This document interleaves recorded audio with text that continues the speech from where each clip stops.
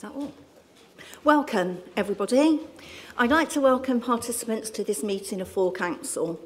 The meeting is being live streamed to the Council's YouTube channel. Welcome to any members of the public who are watching the meeting remotely. The recording of the meeting will remain online for six months. If you are present and making a representation to the meeting, you are consenting to the use of the recordings for broadcasting and training purposes.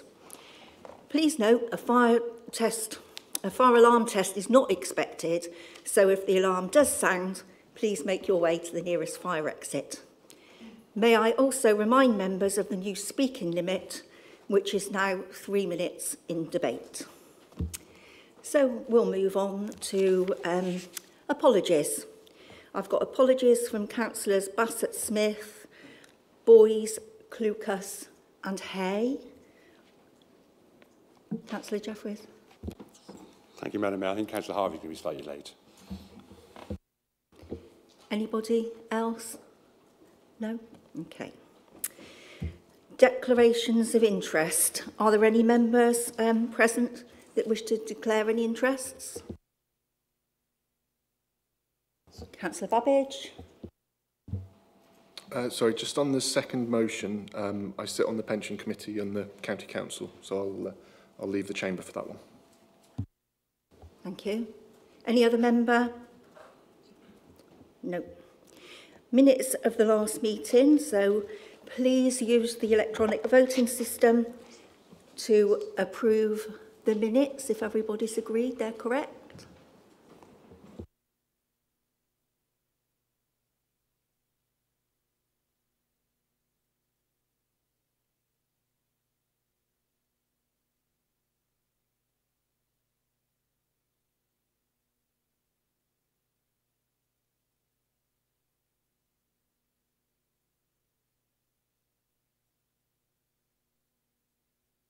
Councillor Andrews and Councillor Baker, you haven't cast your votes yet?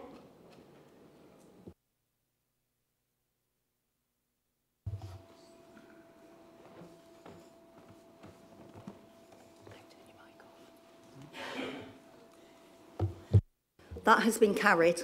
Thank you. Agenda item four is communications by myself. So firstly, some sad news. Peter Barlow, who many of you may know was a stalwart at Remembrance Day services, etc., and who was the former chairman of the Royal British Legion, sadly passed away at the beginning of the month. He was a well-known figure to many people in Cheltenham, especially for organising the many poppy appeals and parades. Also, I have been asked to report that Councillor Phil, County Councillor Phil Orford, who represented the Highland Division, which borders Springbank, Swindon and St Paul's County divisions, has also passed away. I'm sure colleagues may well have worked with him on cross-boundary issues. We send our condolences to both families. On a lighter note, I was delighted to welcome four young people into the parlour recently – These four lads, who were aged between 10 and 13, assisted a Springbank youth worker who was being assaulted by a member of the public. It was great to meet them and to congratulate them on their good deed. They're a credit to their families. I would also wish to put on record our thanks to those who supported Cheltenham Borough Council during race week. I'll start with those involved in the Love Your Turf campaign, which I've been told has made a huge difference. However, in particular, I would like to thank Louis Krog and his brilliant team, the licensing officers in, from Tewkesbury, South Gloucestershire and Wolverhampton, as well as Avon in Somerset's police taxi licensing officer. We also had a member of Gloucestershire Constabulary Road's policing team working with licensing to perform stops and vehicle checks on out-of-town private hire vehicles, all of which has resulted in a significant positive difference. Finally, as a reminder, it's not too late to get your names down for the quiz night on Friday the 31st of March. Thank you. We move on now to communications by the Deputy Leader of the Council.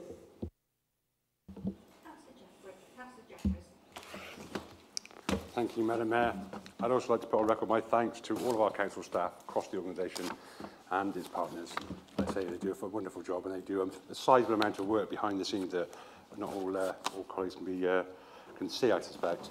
Um, I'd also like to thank the vast more, uh, amount of attendees. I think it was a very reasonable race week. There are undoubtedly some things that we'll have to reflect on and have gone on through the time, but I think all the preemptive work this council did with partners has had an impact. Um, but clearly, um, most people had fun. Um, so, yes, echo those thoughts, Madam Mayor. Um, also, as a short update, I'd like to confirm that following last council meeting, I've written to Councillor Grevels at the request of Councillor Payne regarding the provision of NHS dentistry service. Um, I've had a response, but uh, just to say that he's got the letter, so in due course I'll make sure I get that any feedback back to you, Councillor Payne. We have also, and I've mentioned this previously at uh, Leaders Update, but we've also received some feedback on our Levelling Up Fund bid, um, the fund bid that we submitted. I mean, overall, the feedback we received was a strong, we had a strong bid, but we were not shortlisted for the funding due to needing to strengthen the impact the funding would have had from a cultural perspective, and also it needs to contain more information on the positive impact on our community. Now, we all know how Golden Valley will have that positive impact on our town and our cultural impact that it will have on our town, also have it, a positive impact on our communities. But clearly we didn't translate that enough in our bid. Now, in my view, funding should be awarded on the strength of need and the project and how, the, how strong the project is, not having to continuously bid for funds. But that's the feedback we've got, and we'll obviously be working on that for the next round of bidding. We're also delighted to have been awarded the bronze at the IESE Public Sector Transformation Awards. This celebrates the most innovative practice in transforming public services. The Climate Impact Assessment Tool was one of 30 nominations in the innovation category. And that's really good positive recognition for the hard work undertaken by our climate change team. So well done to all of those. And of course, the cabinet lead. Finally, I'd like to share that on the 7th and 8th of March, we hosted the LG Challenge, Local Government Challenge. This is local government's version of The Apprentice, and we had the pleasure of hosting 10 of the best and brightest from the LG community to Cheltenham. The challenge was set for them to look at how we can ensure that Golden Valley Development delivers inclusive growth and opportunity to those communities and families who face the biggest challenges in our town. Bit of a tough question. They worked really, really hard, and that work was completed in less than 24 hours. It was truly astonishing, and we look forward to using and developing their ideas as our Golden Valley Development project move forward. Thank you, Madam. Agenda item six is to receive petitions. We have none. Agenda item seven is public questions. We have four public questions. Um, so the first question is from um, Mike Farmer to the Cabinet Member for Finance and Assets, Councillor Peter Jeffries. Um, Mike, do you um, take the answer to your question as read? I do. Have you a supplementary? I do. Um, can you hear me? All oh, right, thank you. Um, I'd like to thank uh, Councillor Jeffries for his uh, very full answer. Um, and I'd particularly wish to uh, ask a supplementary about the first paragraph of the answer, and in particular the second paragraph, um, where it says that financially the outcome won't be known until after the, e, the, the next election. Um, uh, that's the kind of answer my accountant would give me, um, but I'd, I'd like if uh, Councillor Jeffries could expand a bit further on that. Has the Council made any assessment of the costs of introducing voter ID and the adequacy of government funding for it?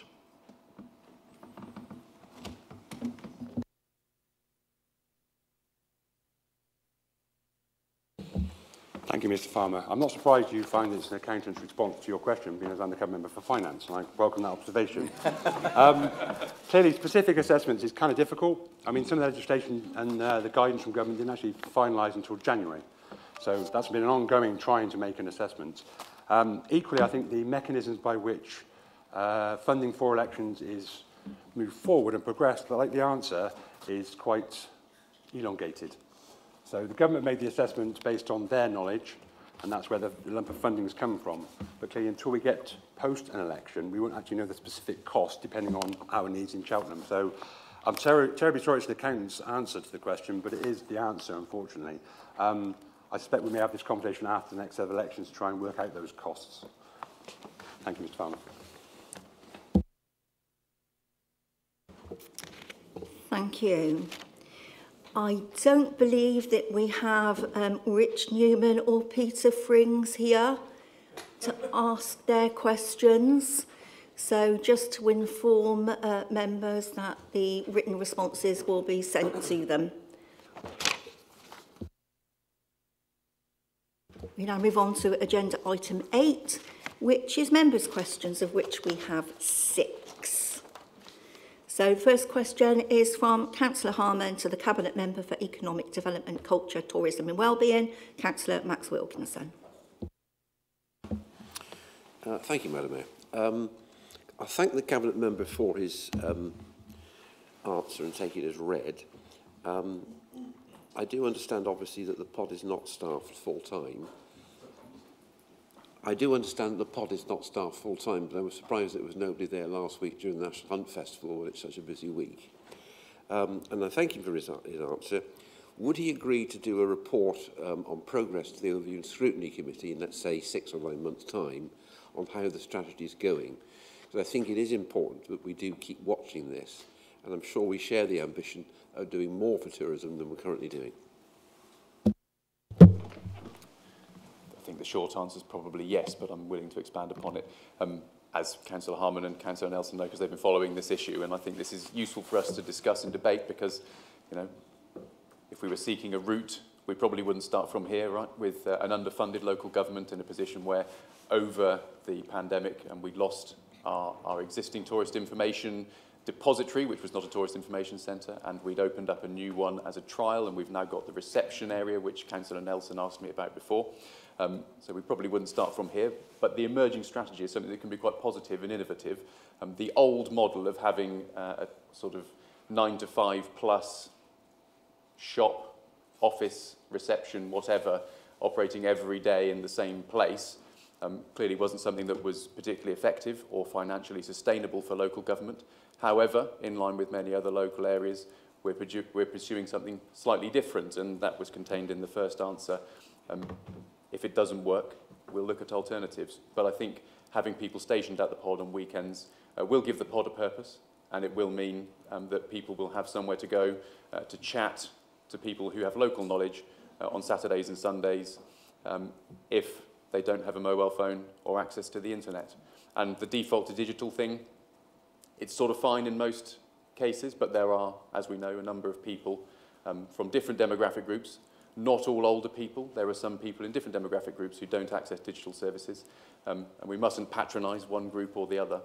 Um, but I'm aware that most of the inquiries I get from this uh, on this subject are from, from older people, um, and that group might not default to digital when visiting a town centre. So it's important we do still have physical repositories, sorry, depositories, whatever the right word is, for tourism information uh, and, uh, and we, were, we will continue to do so. Uh, and the progress that we've made in the reception, I think, is really positive. The progress we're making at the pod is really positive, and I think it's important that opposition members scrutinise the work on this, um, and I'm sure in due course um, we will work with Marketing Cheltenham to bring a paper to ONS when we can work out whether the current trial scheme has been something that, uh, that it work, works for Cheltenham. Thank you. Question number two is from Councillor Wendy Flynn to the Cabinet Member for Climate Emergency, Councillor Alisha Lewis. Councillor Flynn, do you take the answer as read and do you have a supplementary? Um, I do take the answer as read and I don't have a supplementary. Thank you. Thank you.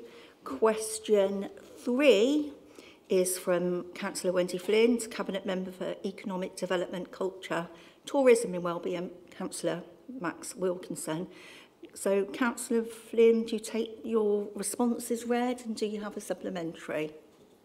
Um, I take it as read, yes, thank you. I do um, have a quick supplementary, I supplementary, I think, um, which is, is uh, I mean, it doesn't look like uh, there'll be any fixed power supply in place um, for this year. Um, basically, is that the case and will a, a ice rink go ahead um, without that? Thank you. Well, it doesn't look like there's going to be, as you've rightly pointed out there. Um, the intention is to still go ahead with an ice rink, but you'll recall from, sorry, via the, via the Mayor, Councillor Flynn will recall from last year's discussions about the ice rink, which didn't end up coming to Cheltenham, uh, was that we were going to pursue alternative strategies and we weren't going to have, sorry, uh, alternative strategies for energy and we weren't going to have a traditional diesel generator.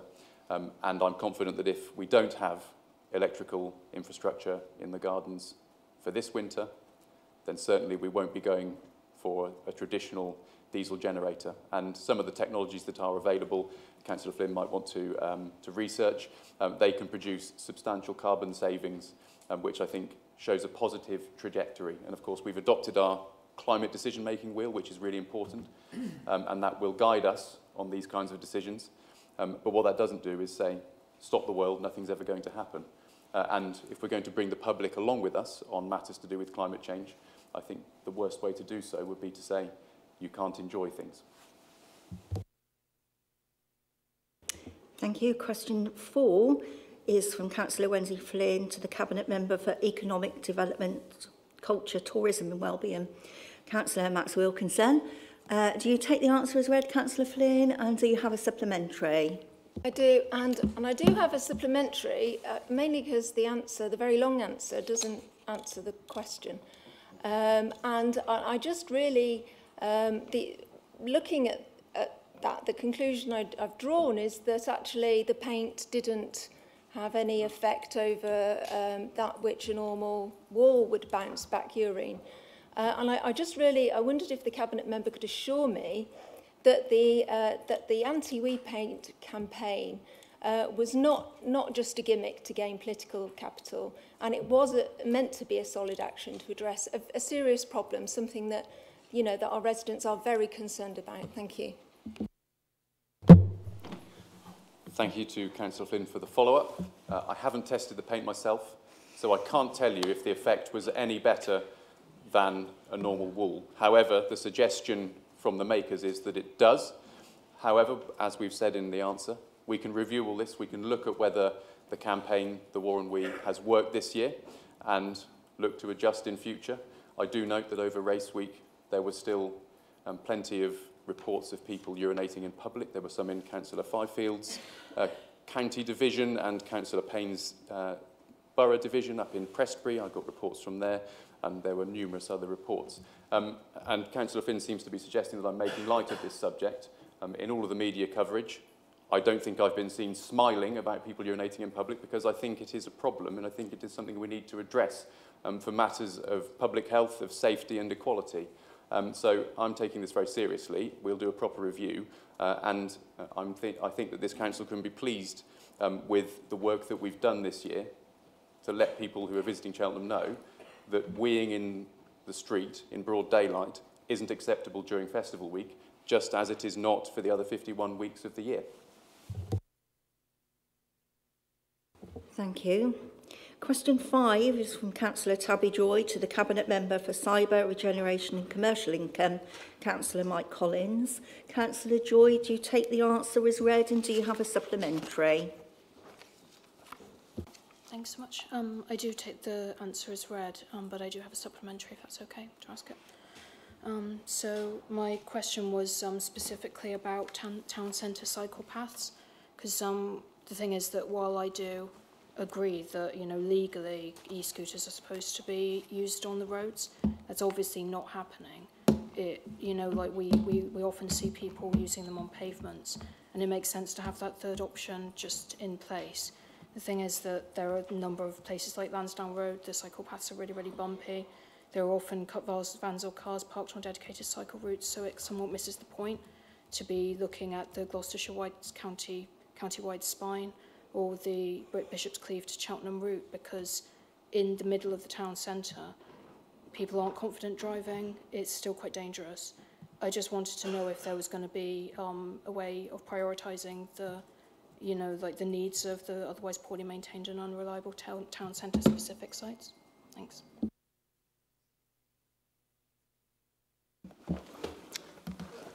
Thank you, Mayor. Um, yeah, uh, thank you, Councillor Joy, for your, your question there.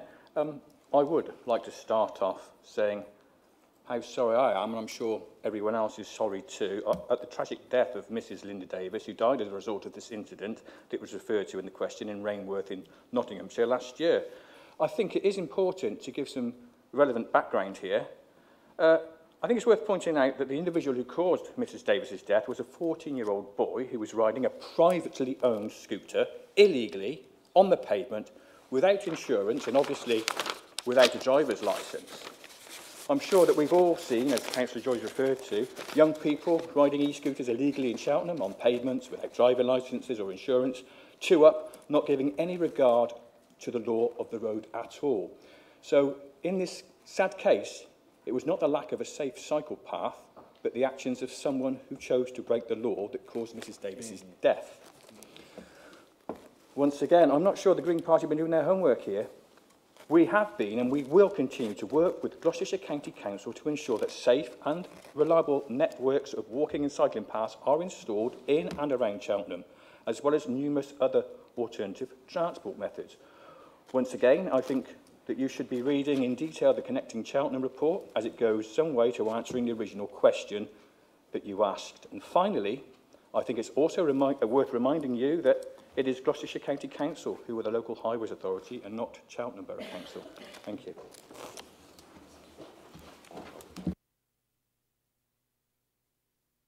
Thank you. the final question, question six, is from Councillor Tabby Joy to the Cabinet Member for Cyber Regeneration and Commercial Income, Councillor Mike Collins. Councillor, um, Councillor Joy, do you take the answer as read and do you have a supplementary? No, um, I'm really happy to take the answers read and um, I found it quite informative. Thank you. I don't have a supplementary. Thank you.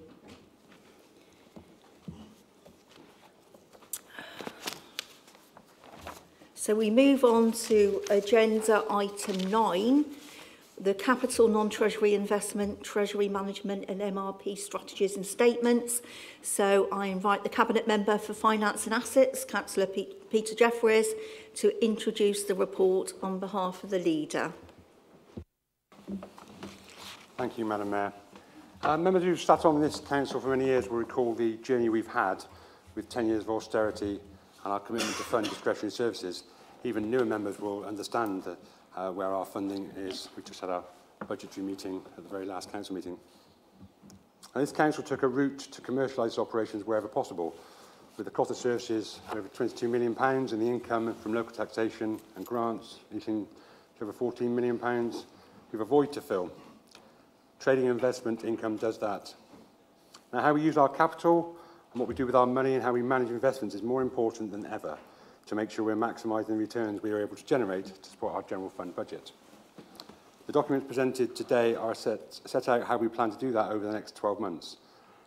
Now, these strategies are all mandatory for local authorities and should be reviewed and approved by Council each year. Together with our asset management strategy, they provide the framework for all our capital asset and investment decisions for the coming year. Also presented today for approval is the annual minimum revenue position statement. Colleagues, this explains how the repayment of our borrowings has been calculated. There have been no significant changes to our approach for the coming year, as we are still waiting for a formal response to the government consultation from 2021, which has still not been published. I'm not going to labour this much more, Madam Mayor, so I recommend these documents to Council for approval. I will take any questions. Thank you.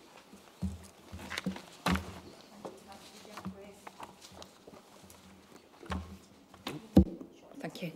Any member, any questions? No?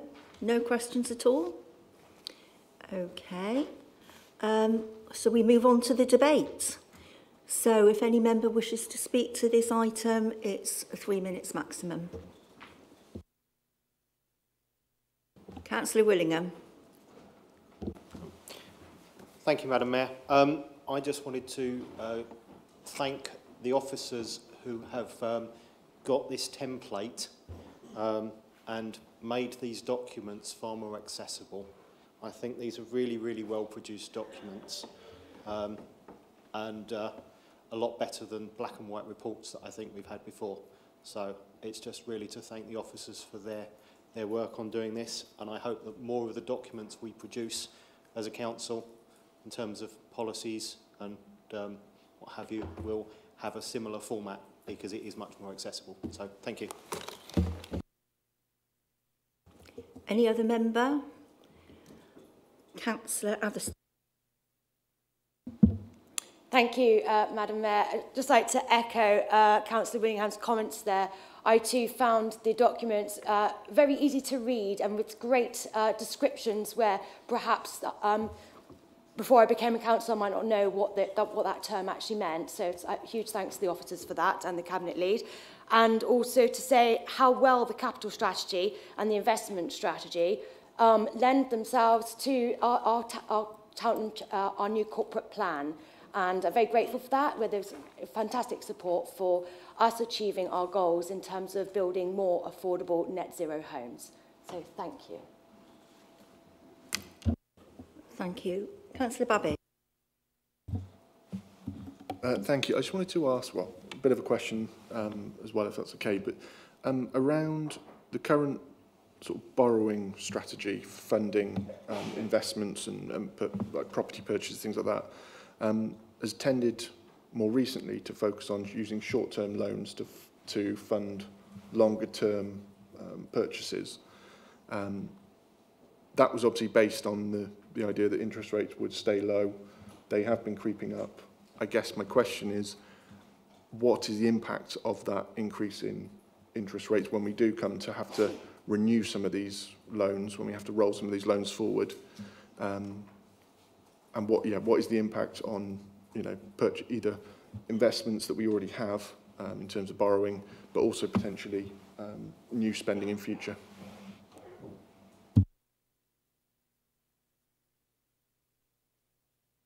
Madam Mayor, that's quite a technical answer, so I'll ask Paul to follow if I may. Thank you.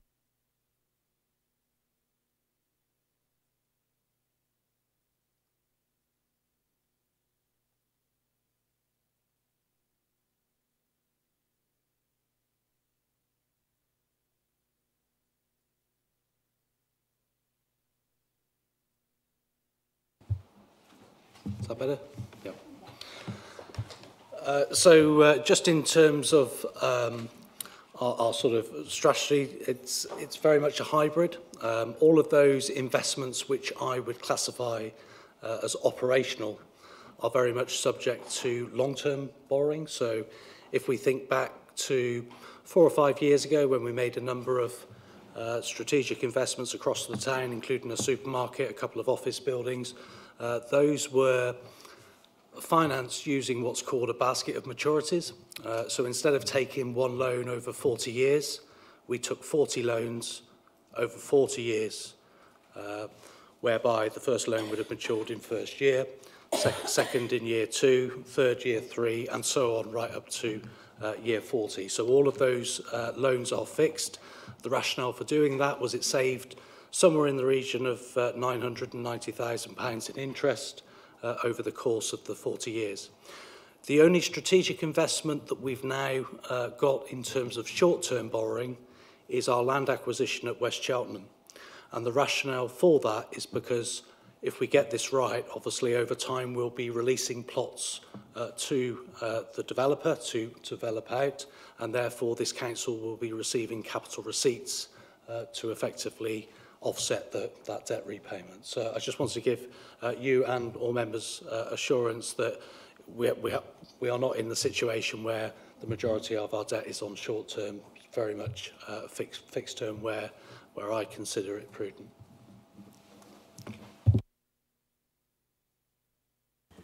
Thank you. Any other member? Councillor Chelin? Thank you.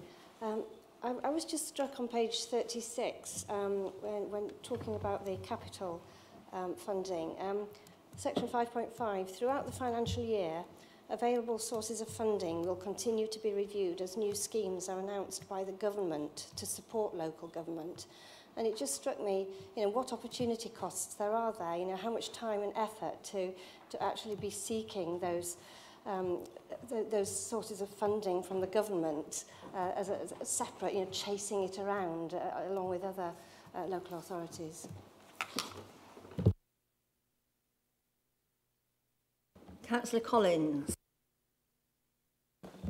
Thank you, Mayor. I I think it's worth um, just pointing out that we've had some questions about the costs and the finances of, of our priorities, but If I refer everybody to page 32, our key priority one, enhance Cheltenham's reputation as a cyber capital of the UK, well, um, I'm really pleased to be able to, to say that, well, that started because we're actually hosting a delegation from Canada um, in the next, today and in the next couple of days. Canada meets Gloucestershire Cyber. And uh, so Canada's heard about it and they're interested in getting involved. So maybe that will be a source of income that will offset some of our costs in the first place. And long may it continue. I hope it's the first of many. Thank you. Any other member? No? Okay, so before we go to the vote, can I invite the Cabinet member? Oh, Councillor Flynn. Okay. I mean, I, I just wanted to make a, a quick comment, really. There's, I mean, there's a lot, a lot in here. Um, I, I welcome the, um, the investment in homes, and I, I think most people would. Um, I'm concerned about the, the sort of reliance on Golden Valley, which represents a huge investment um, and, and is set to deliver so many outcomes. Um, but I just, I just don't think we should forget to invest in, in things like the Leisure at um, as well and, and make sure that, you know, that, that things are balanced across the, across the range of things because, um, yeah, thank you. Thank you. Any other member? No? Okay, so Councillor Jeffries. Thank you, Madam Mayor. Um, yes, I've got to ask Paul to uh, answer the technical terms on that one because I would have got that slightly differently in different language. Same result, but you had it from the horse's mouth there. I think it's interesting, though, that, that hybrid model and how Cheltenham does things differently. It's what we do in Cheltenham. We find solutions to, to issues. Councillor Cheltenham, you're quite correct. Bidding for council or central government funding is costly, timely, takes resources, takes officer time, folk, takes focus away from other things. Unfortunately, that's the nature in which the government does things now. We've had all that austerity where they took a lot of the funding away, and then they released a pot of funding, and we have to bid for that. I think it's, um, I think the, uh, the Levelling Up Fund, I think the last media round on that sort of highlighted the, the pitfalls when it comes to bidding for funding. I think that was a, the media did try to focus on that. So yes, I agree, it's not the most efficient way. Uh, Councillor Flynn, I, I think um, your, your reference to there's a huge reliance. I think that's a, maybe a bit of a false perception, but I take your point. Uh, I think the economy's taken a bit of a kick over the last couple of years. uh, had that economy not taken a kick, we may have been in a different position to have more investments coming down the track and more investments into our infrastructure and so forth. So I take the point now. I did hear, hear what you said.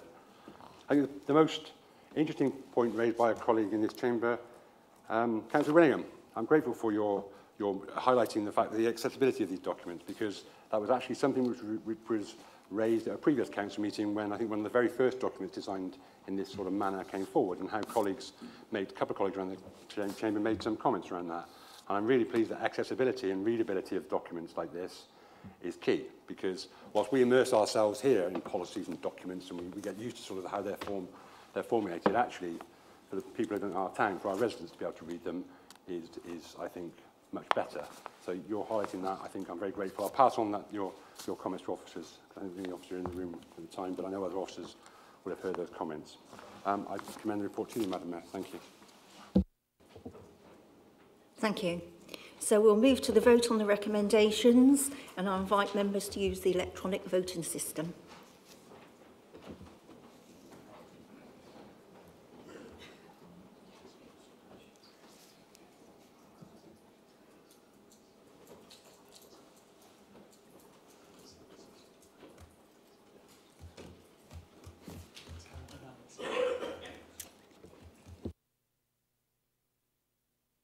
that was unanimous. Thank you. So we'll move on to agenda item 10, which is the Carbon Footprint Report 2021 to 2022. And I invite the Cabinet Member for Climate Emergency, Councillor Alicia Lewis, to introduce the report. Thank you, Madam Mayor. I want to bring up a bit of a story about a very dear friend and former mentor of mine who told me many years ago in a very sort of offhand, joking manner, that believing in the idea that you can make real progress in local government is a bit like Father Christmas. You believe in it when you're young, but you soon grow out of it. I'm getting on a bit now, but I think this report... I am getting on a bit now. But I think this report, colleagues and friends, does keep that dream alive. I think this is a really exciting opportunity for us all. There's a lot of numbers in this report, and I apologise for how many numbers you are going to have to have read to have understood this report. But there's two that really matter. So if you are skim reading it now, I will point out the ones you want to get to. Under unbelievable pressure, and we really can't underestimate just how many multifaceted layers of pressure that this council is under right now, we have made real progress in reducing our council's carbon footprint. So much so that we've actually exceeded the amount that we would need to reduce our carbon footprint by in order for this council to reach its net zero 2030 target for the administration and activities of Cheltenham Borough Council. Very good. I think for us, as a Lib Dem council, standing on the front line of the battle for a liberal Britain, this is us doing something quite exciting. We've had lots of other councils who are otherwise Lib Dem run saying, how are you doing this? How can we do more? So it's fantastic that Cheltenham Borough Council is leading the way.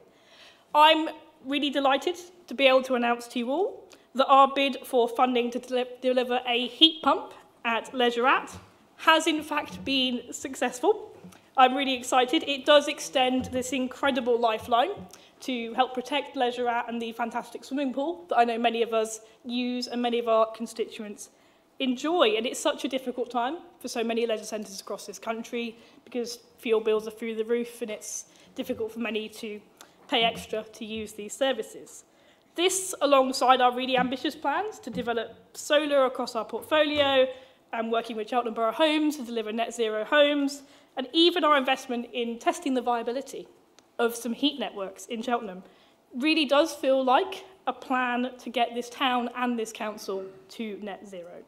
Finding the right solutions in the climate crisis in the face of a lot of changing tech and some very high heritage standards, and we're not willing to compromise on those heritage standards, is a tough challenge, but this is Cheltenham Borough Council and we've never been afraid of those.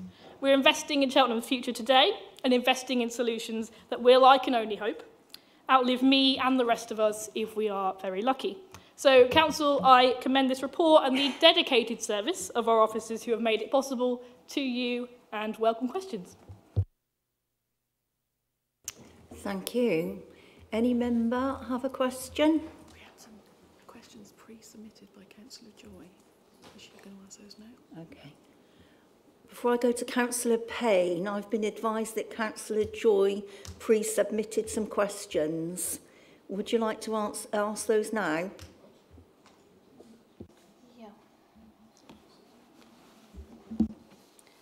Thank you so much. Yeah, um, I sent these sort of as a matter of course for members' questions, but we found that they actually fitted quite well into the carbon footprint report. Um, I think in some ways I'm, I'm quite happy to just proceed to the questions and debate stage really because um, you know I've, I've been through the report and um, sort of read it in some detail and compared them against some of the original questions that I'd submitted. So, um, you know, I'm happy to just enter into the debate along with everyone else. I think that's fine. Thank you, Councillor Joy. Councillor Payne. Thank you, Madam Mayor. Um, thank you for the report. I, I think it's really important that we've produced it. I think we need to have our work uh, into the public domain a lot more. I have two questions, if I may. Um, it's in any study where you are comparing one year with the next, and that's a, a practical way of doing it, you need a baseline. I am looking for some reassurance that the baseline that we've selected is sound because a lot of the data from previous years has been based on national statistics and estimates.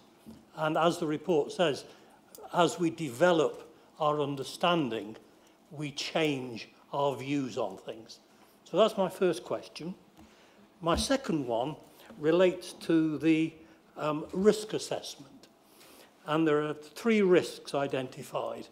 Um, the first one is around finance, um, the likelihood being four, which is quite high. I'm surprised that the impact is only three. Because without good financing, this project is going nowhere.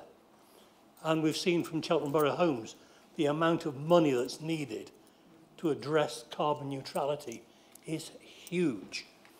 Uh, the second one, the, the other two um, risks are, um, are, are scored. I've never seen a risk report with such high scoring. So I, I'm looking for some reassurance from the Cabinet member that actions are in place to address these concerns, concerns that really threaten the whole project. So I'm, I'm looking for reassurance if you could, if she could provide that. Thank you.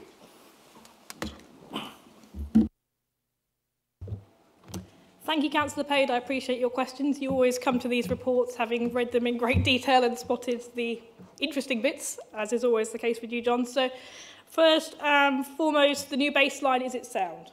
There's a reason we've done some adjustments to our methodology since the last report, and they are predominantly because we wanted a more accurate report. We were working with an industry expert who said actually there's a lot of national averaging going on, as you'll have seen from the last report, and we could do a bit better than that.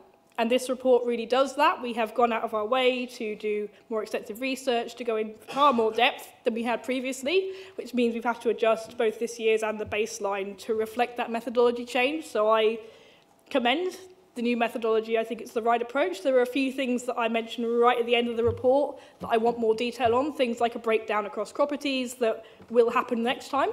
There is a constant process of iteration and improvement going on here, John, so it is definitely a good thing, and I think it can only get better from here. And on in terms of the risk assessment, I think the nature of the issue, the risk is understandably very high. If we can't resolve the climate crisis and we can't invest in these solutions, we're going to have a lot of problems. And I can, however, reassure the cabinet member, not the cabinet member, the, the member, I have to reassure myself sometimes, that we have in fact got both you know, a mechanism for the finance, which is the Green New Deal, and we are working extensively on the areas where we need to shore up some things in order to make sure that everything we are committing to will happen. So I can reassure you that this investment is incredibly important for Cheltenham's future and we take it as seriously as you'd expect.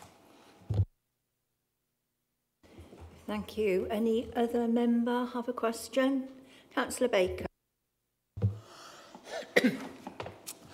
Yes, thank you, Madam Mayor. I love, I love the fact that our cabinet member for the climate emergency is just so knowledgeable, engaged, positive, and enthusiastic about her subject. She clearly loves her portfolio. That comes across every time you hear her speak. And the depth of her knowledge on it is, is, is amazing.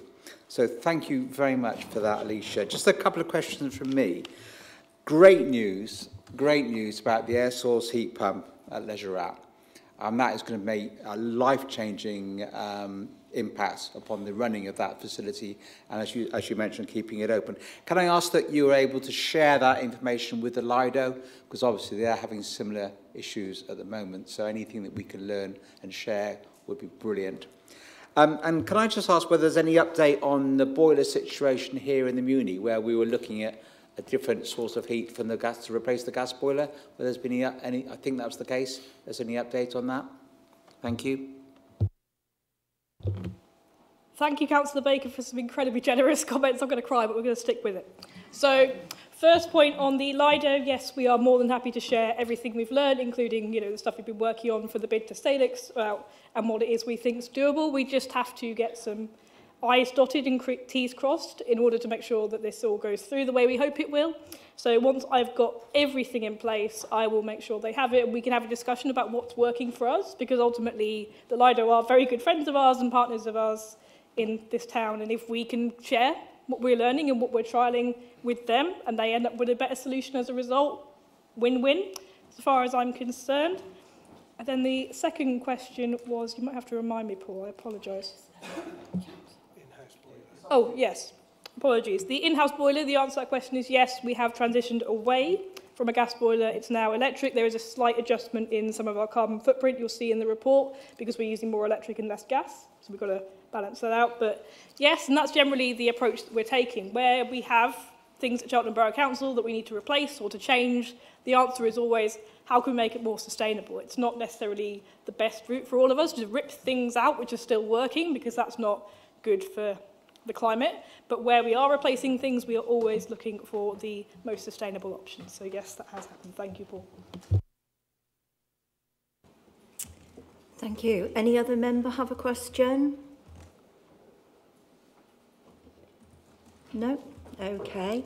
I think, oh, Councillor Flynn. Just discussing. Sorry, I, I mean, I just wondered, uh, with CBH being removed uh, from the report, um, I wondered what, uh, what the council was going to do uh, to ensure there's equal scrutiny of the carbon emissions associated with with Cheltenham Borough Homes and action towards net zero for 2030 at CBH. Thank you.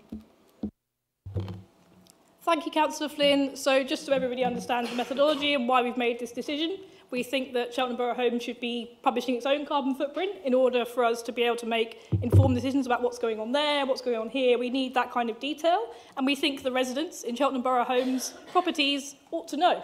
It's the kind of thing they're asking for. And we will be sharing all of our methodology, all our templates, reports from this report with them to make it easier for them to do it. And I'm sure that they will be, once they have published theirs, happy to discuss it in OLS or some kind of, you know, scrutiny opportunity because I think that's possibly the best way to do it. But when they do publish theirs, probably prior to it, it will come to us at the climate team and we will have a review of what's happening and we will have a continuous conversation with them about where we can make improvements and where the things Cheltenham Borough Council are doing can be shared, things can be learned, where we're having successes, we want to turn to them and say, we've done this thing, it's working really well for us, any chance you want to top on board, any, if they have any problems, they can come talk to us and say, how is it you're doing X? We are in constant conversation, and once they publish their reports, we can have a lengthier discussion about how we're going to make sure they get the scrutiny they need and the residents get the transparency they deserve.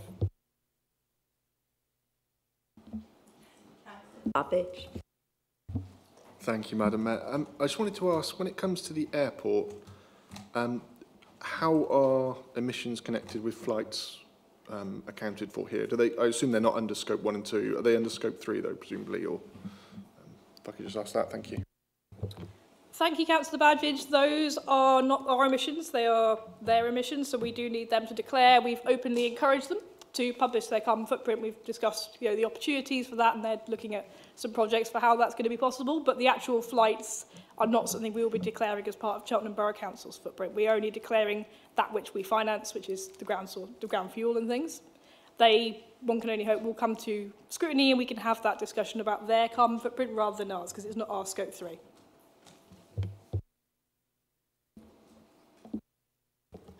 Any other member? Councillor. Thank you. Um, just to follow up on the CBH reporting, I was just curious to know if um, there are plans to incorporate CBH reports um, in the carbon footprint going from this year onwards, because um, while that makes sense that it's excluded from the reports here, and um, there's an explanation in the appendices as well why it wasn't included. But um, the thing is that around 26% of UK emissions are actually based in domestic properties, so it is still quite an important thing to element. I was just wondering if it would be included in these carbon footprint reports um, after this year's. Thank you, Councillor Joy. I'm happy to discuss with them the possibility of us publishing at a very similar time or publishing sort of as an additional sort of footnote or as an additional document, but it's not going to be included within Cheltenham Borough Council's footprint because it's their emissions, their operation costs rather than ours. So that's happy to publish it and make sure it gets to this council, but that's the division on that. I mean, I have a follow-up to that because um, specifically it says methodology for gathering data was specific to CBC and its partner organisations. So um, how is CBH not included in that? CBH are of course included in our partner organisations and we're sharing everything we're learning, all of our reports and all the expertise we've developed in producing this report with them so that when they do declare we end up with something very consistent and we're all discussing very similar things on the same wavelength.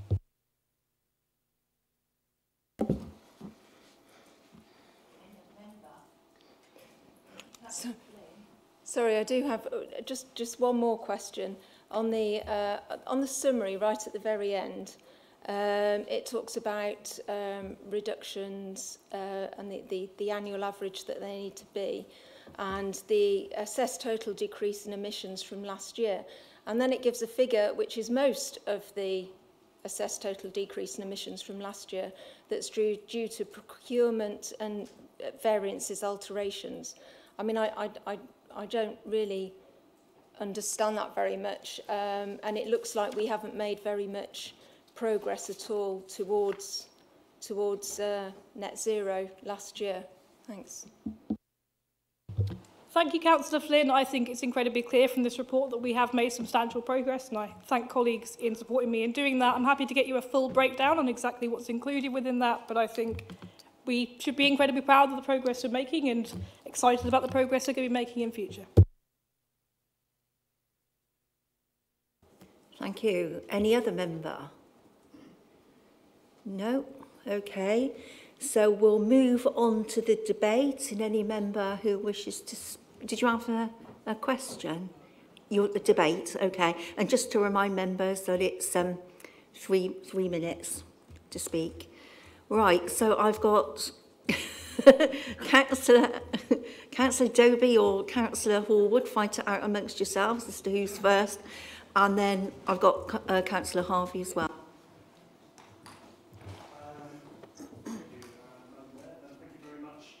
uh, Alisha, my, my cabinet colleague, for such an impressive report and for all the officers who helped to, to prepare it. It's very clear, to quote you, that we have made real and substantial progress in reducing our CO2 emissions in previous financial years. In particular, highlighted in this report were financial year, was the financial year uh, 2021 to 22. But of course, it hasn't stopped there, and we're, we've heard there's a great news today about the uh, the heat pump at, um, at Pitville, at the, the leisure centre for the, to support the pool there. That will really be a, a great game changer. But um, I'd like to draw attention briefly to what's been happening within my own portfolio of uh, waste and recycling and parks and gardens and street services, which in includes uh, toilets, public toilets. Um, in specifically, I'd like to draw attention to the two electric vans which have been funded by CBC for use by the Green Space ground maintenance and toilet maintenance crews. They're supported by uh, full charging points, eight indeed, at the Borough Council depot, and the two vehicles have been operational since May. And then meanwhile, since October, CBC's waste and recycling vehicles have stopped using traditional diesel and have now been moving across to use hydro-treated vegetable oil, which is HVO, And uh, it's also known as renewable diesel, perhaps you know it by that terminology, which is 87% cleaner than traditional diesel, uh, especially with regard, to, with regard to particulates. So the bottom line on this is that through these actions, we have reduced carbon emissions, and this is this year, by more than 220 tonnes of, of CO2. So we, we continue to make progress on this front. It doesn't stop there. Thank you. Councillor Horwood. Thank you very much, uh, Madam Mayor. Um, I would like to congratulate uh, Cabinet Member as well, although congratulate hardly comes close uh, in a way because it is absolutely fantastic that we declared a climate emergency and that we set out a pathway to net zero. It's fantastic that we didn't just let that declaration, you know, sit on a shelf somewhere. We have actually gone to the trouble of producing this very scientifically led carbon footprinting report that really analyzes whether we are doing what we said we would do. It's fantastic that we are doing what we said we would do and that the progress is, if anything, for the council at least, if not the, the wider town, even faster than we projected in that pathway uh, and that she has reported such uh, fantastic progress and more measures as well, like the Leisure at um, uh, initiative today as well. So amongst all that, I would forgive her for, for not highlighting something that I'm going to draw councillors' attention to, which is buried on page 94 of your paperwork. Uh, I'm sure you've read it all, but just in case, which is that if anything, this presents a conservative picture.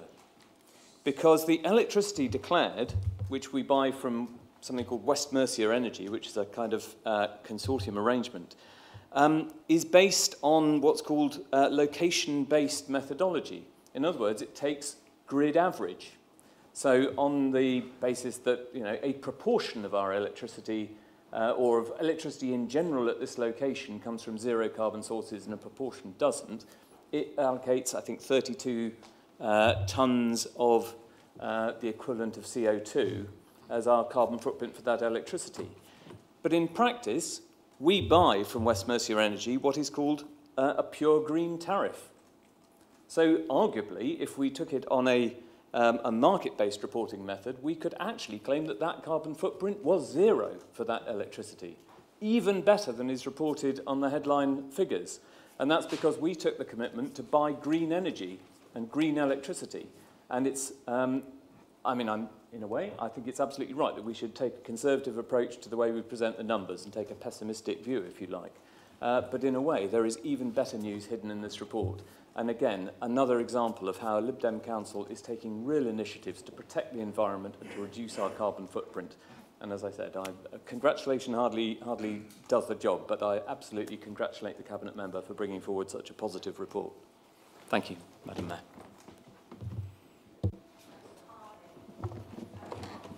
Thank you, Mayor. And of course, that's the Cabinet Member for Climate, something which the opposition parties didn't want to have. So I'd congratulate the, the councillor for being, being in that position. And also the other councillors from the cabinet giving highlights of where this council is going towards carbon neutral for the future. Um, I'd like to thank whoever it was that dreamt up the carbon literacy training for all councillors. Um, and this is part of my, uh, my pledge to use e-scooters more often than I was anyway. Um, what I'd like to do, though, is complain about the weather because nobody said it was going to be raining when I came hurtling into town from Charlton Kings. So I thank you for that. Councillor Baker has touched on his thanks as a, um, a board member of the, of the Lido Trust, um, stealing my thunder about the, the Cheltenham Trust and the heat pump exchange at the Prince of Wales Stadium, um, sorry, at the Leisure at. Um, it's a pity that um, the person that made the comment about the Leisure at and lack of funding and so on from agenda item 9 had left the chamber to hear the cabinet member say that the, the good news about the heat pump coming to Leisure This is a commitment that Cheltenham Borough Council has got to our, our, our infrastructure of properties that we own. I have a non-pecuniary interest in the trust as a board member, that's already been declared, but as a board member I'd like to say thank you to, to the cabinet member for getting, uh, getting that through. I know that um, Laurie and the rest of the trust will be really delighted to hear that. But it's really indicative of uh, the fact that we do look across our portfolio of obligations and we do try and move in the right direction. And if you could do something about the weather and raining next time on my e-scooter, that'd be absolutely brilliant. Uh, I know you'll be doing that next week, but I'd just like to thank the Cabinet member for, uh, for highlighting that. Councillor Atherstone. Uh, thank you, Madam Mayor. I'd just like to uh, say thank you to, to Councillor Lewis for bringing this report to us today.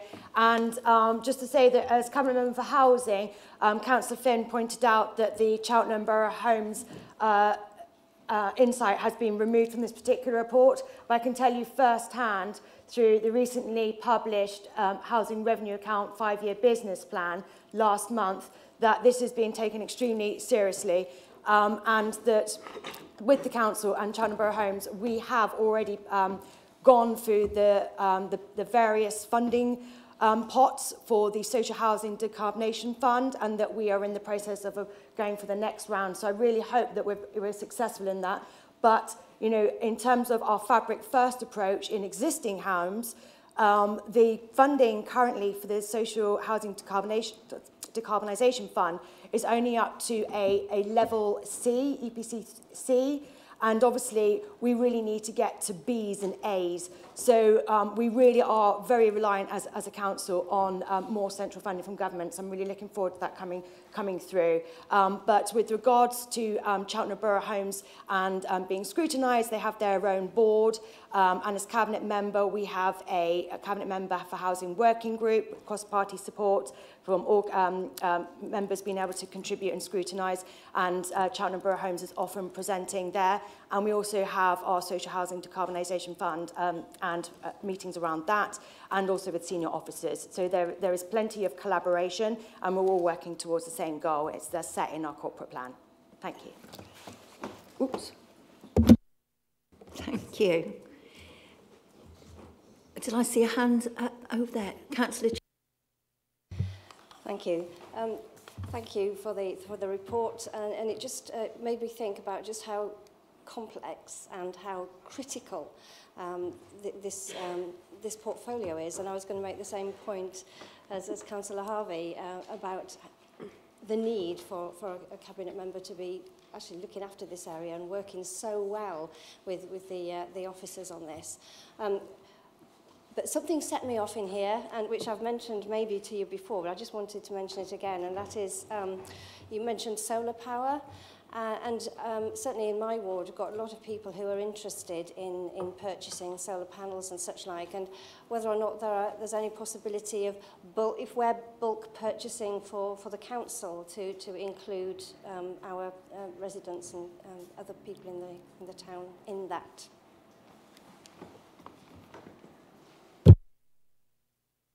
Sorry? Yeah, no, that's fine if you want to do that, and then we'll... Just because that was a question, I thought it'd make life easier to answer as we go. There were initial plans to look at bulk buying for residents. Unfortunately, we had some good legal advice that the scheme we were looking at wasn't the right choice for Cheltenham, so we're looking at other options, but we are keen to support residents, just not through this particular mechanism. We'll find something. I do have to take the advice of our legal team, who are excellent. It's just a, a work in progress, but thank you for bringing that up.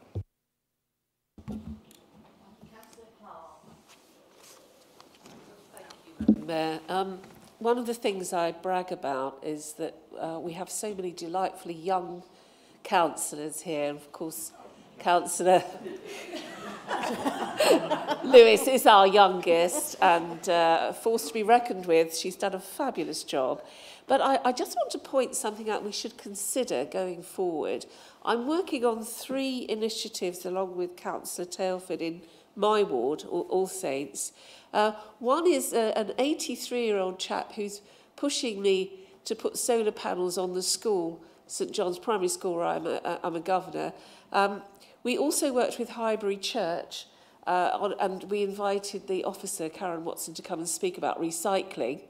And uh, a, a resident, Bob Gower, has set up some retrofitting sessions so we could learn uh, in our ward, and that now has escalated. We're meeting with council officers and hoping to roll that out across Cheltenham. But the amusing thing is, so the chap who's pushing me to put solar panels on the school is 83. The median age at these groups, especially the recycling, was uh, probably 68. So there's something very odd going on here. We need to reach young people.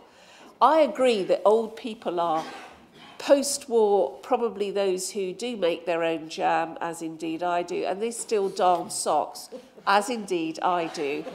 I make quilts from old shirts. I'm not offering my services. I'm very busy.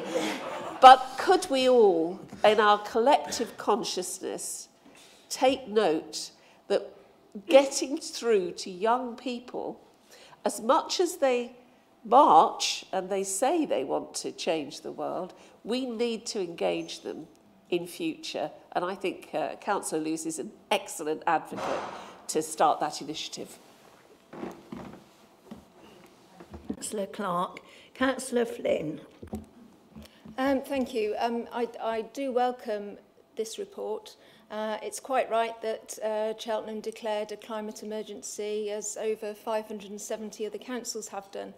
and uh, and it, it's it's right that we we do take this seriously and I welcome the report. I would like to look at how we use all our parks and green spaces, though, of which we have many, um, for things like ground source heat pumps. So I wondered if that could uh, be noted. Thank you.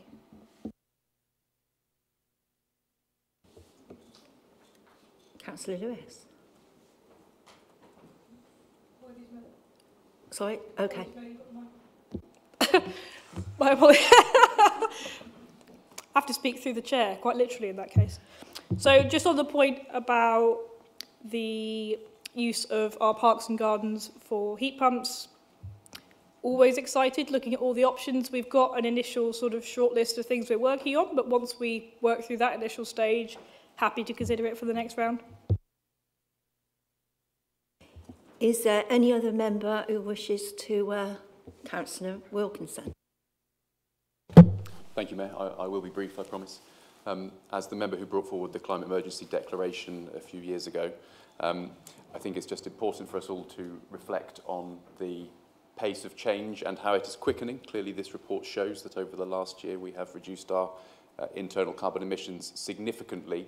And uh, one of the things I've discovered as a councillor here over the last nine years or so is that change in the public sector does not take place at breakneck speed.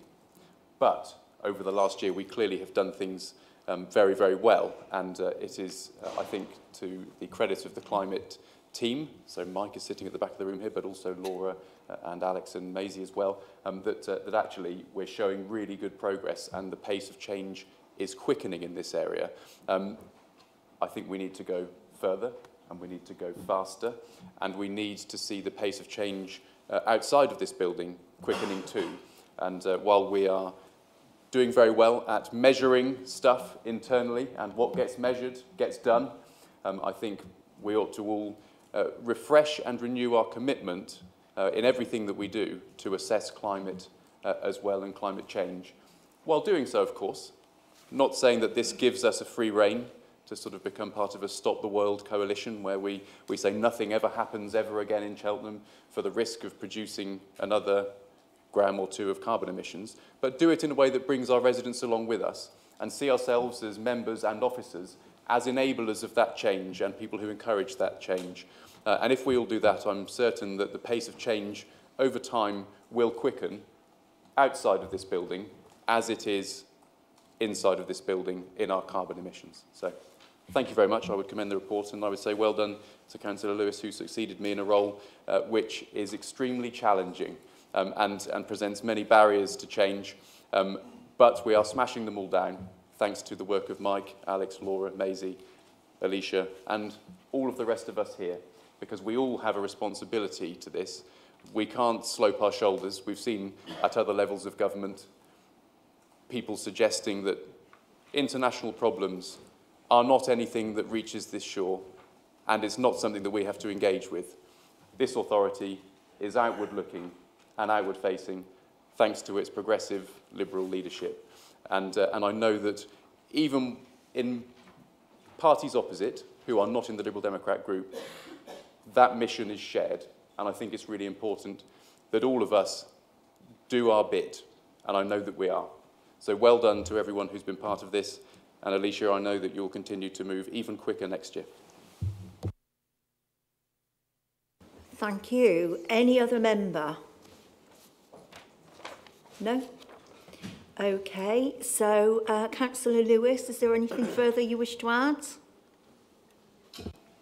Yes, just a couple of things. Firstly, I want to count, thank Councillor Harvey for supporting our investment at Leisure at. I'm also very excited. I think one of the great things about being able to be the Cabinet Member for Climate Change is that I do get to invest and find ways of investing in keeping the things that Cheltenham loves, the things that make Cheltenham great, sustainable for my children, your children, their children. If we don't have this climate strategy, we will not be able to protect the things that we love, and I think the Investment at Leisure at is just one opportunity on that thread to keep things that we love going into the future. I'd also like to congratulate Councillor Clark on the success of her retrofitting club. I know it's very well liked and many residents bring up her incredible work on making this possible to me just in the street sometimes. She really is a local celebrity. I will, however, say that we have already started engaging with young people. I'm really glad and I've really enjoyed the opportunity to speak to young people across Cheltenham, including at student events and events with children in the local schools. I've learned a lot from them And I've taken some really interesting ideas that they've come up with back to this council to explore. So I'm really glad that our climate strategy does involve young people and makes them feel that they can have a voice in this process. Thank Councillor Wilkinson for his impatience on this climate strategy. It is one that I share and I look forward to being able to share even more progress that we're making in the pipeline. Local government is not a speedy place. I am, however, young enough to stay the course. So I, I will see it done, one way or another. I would also say that I was remiss to forget to thank Councillors Horwood and Councillors Wilkinson for their incredible support and great wisdom in supporting me in taking this report to Council. And I am as always, incredibly grateful to them. So thank you, colleagues. I commend this report and I hope we are all on the same page when it comes to tackling this serious climate crisis. Thank you. So we'll move to the vote on the recommendation. If members could use the electronic system.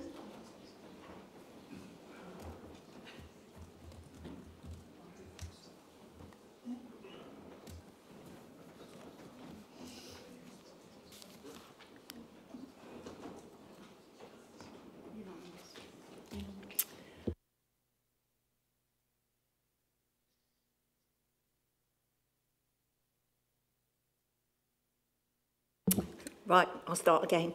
We'll move on to agenda item 11, which is notices of motion. So we've got motion A, which is proposed by Councillor Flynn.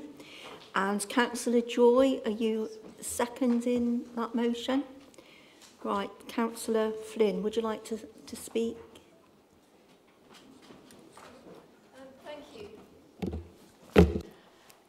In uh, 1997, Cheltenham Borough Council initiated a programme of work called Investment in Young People, a strategic framework, which recommended the creation of a youth affairs post to deliver actions outlined in the strategy.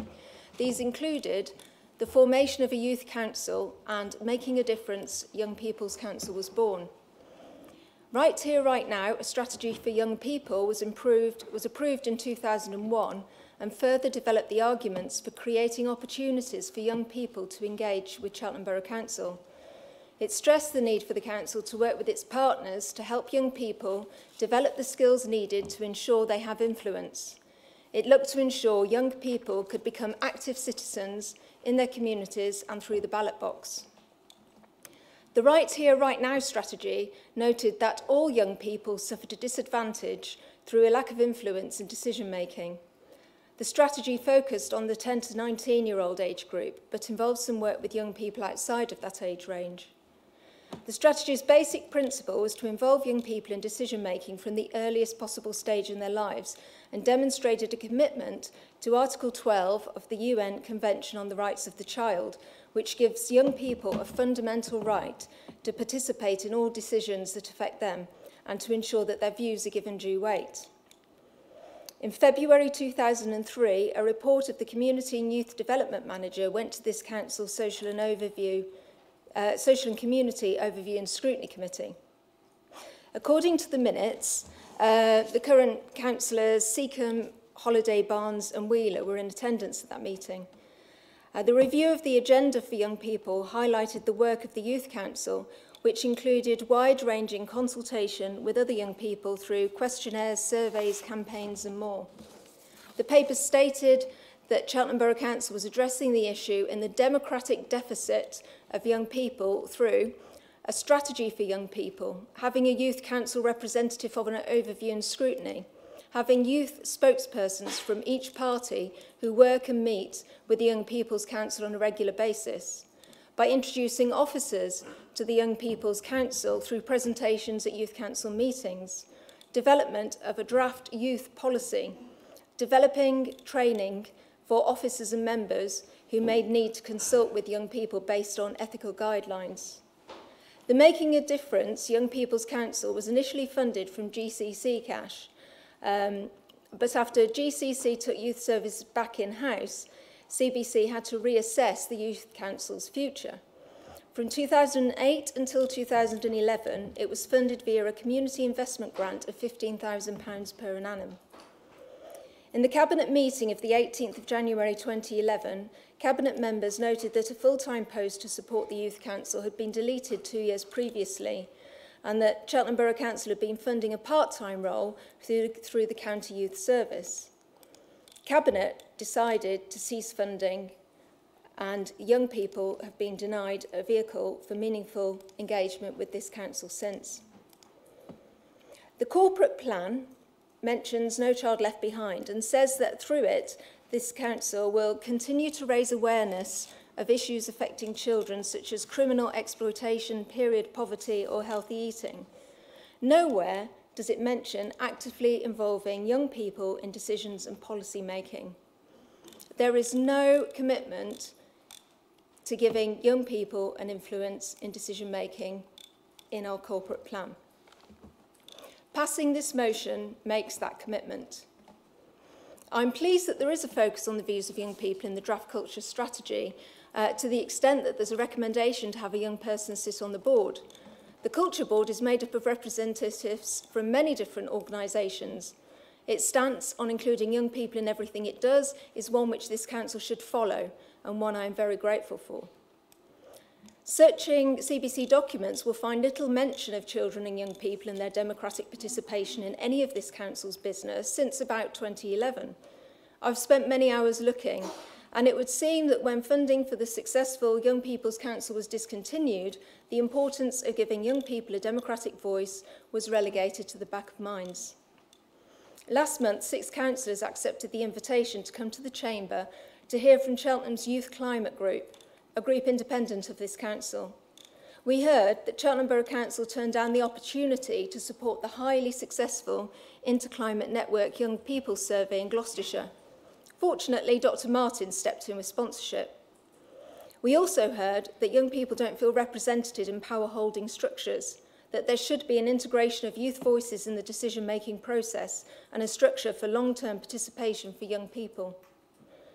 When Overview and Scrutiny reported back to this council after looking at the UNICEF child-friendly city status and No Child Left Behind in some, de some depth, it was clear that there is not currently a mechanism for young people to influence what the council does.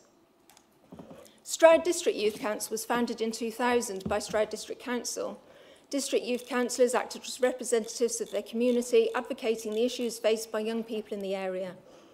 The Youth Council and nine locality-based youth forums represent the views of young people, enabling them to collectively use their right to have a voice and to be heard on relevant issues of concern. They engage with decision makers to influence change and make a positive contribution to improving the lives of people in the communities they represent. They interact with elected district members, in particular political group leaders. They interact with county councillors and members of parliament. They are involved in Stroud District Council's performance monitoring um, in policy and in strategy work. They have focus groups for topics such as health and well-being, democracy, anti-bullying, young people's rights and local transport. And they are a member of the British Youth Council. I would recommend that councillors take a look at their website for evidence of the positive impact Stride's commitment to giving young people uh, a voice has had. A youth council be, can be formed and set up in many different ways, as the information found by following the link submitted with the motion shows. What it will look like is for the young people of this town to lead on. All members are being asked to do today is to vote to start the journey to give young people in Cheltenham a vehicle for their voices to be truly heard. Thank you. Thank you. Councillor Joy, did you want to speak now or reserve your rights? I'd like to speak now just because I've, I've got a short speech prepared. Um, so essentially, based on um, this motion, we feel that there are many strong options to generally improving democratic engagement with young people. Um, you know, it's important to both um, treat, to kind of both um, approach those who can't legally vote but are still citizens of our country and our local community, but those who are able to vote but don't really know how everything works, how things relate to one another. So we've identified that there's obviously a key need for and an appetite for engagement as well. People want to get involved. Um, it's just about empowering them in ways that they can practically do that. Um, a lot of us will probably have found talking to our constituents that people generally value democracy. They value the opportunity to pitch in and they want to participate. So we kind of just want to make sure that it's easy to do that, it's accessible to do that.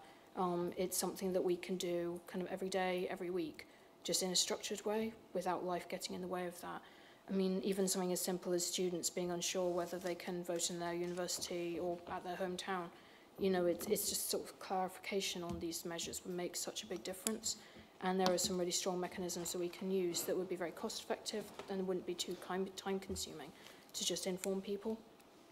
Um, there's also the issue that um, many young people actually tend to move across wide areas settling into their careers, the, the fact that they don't necessarily stay in the towns that they grew up in.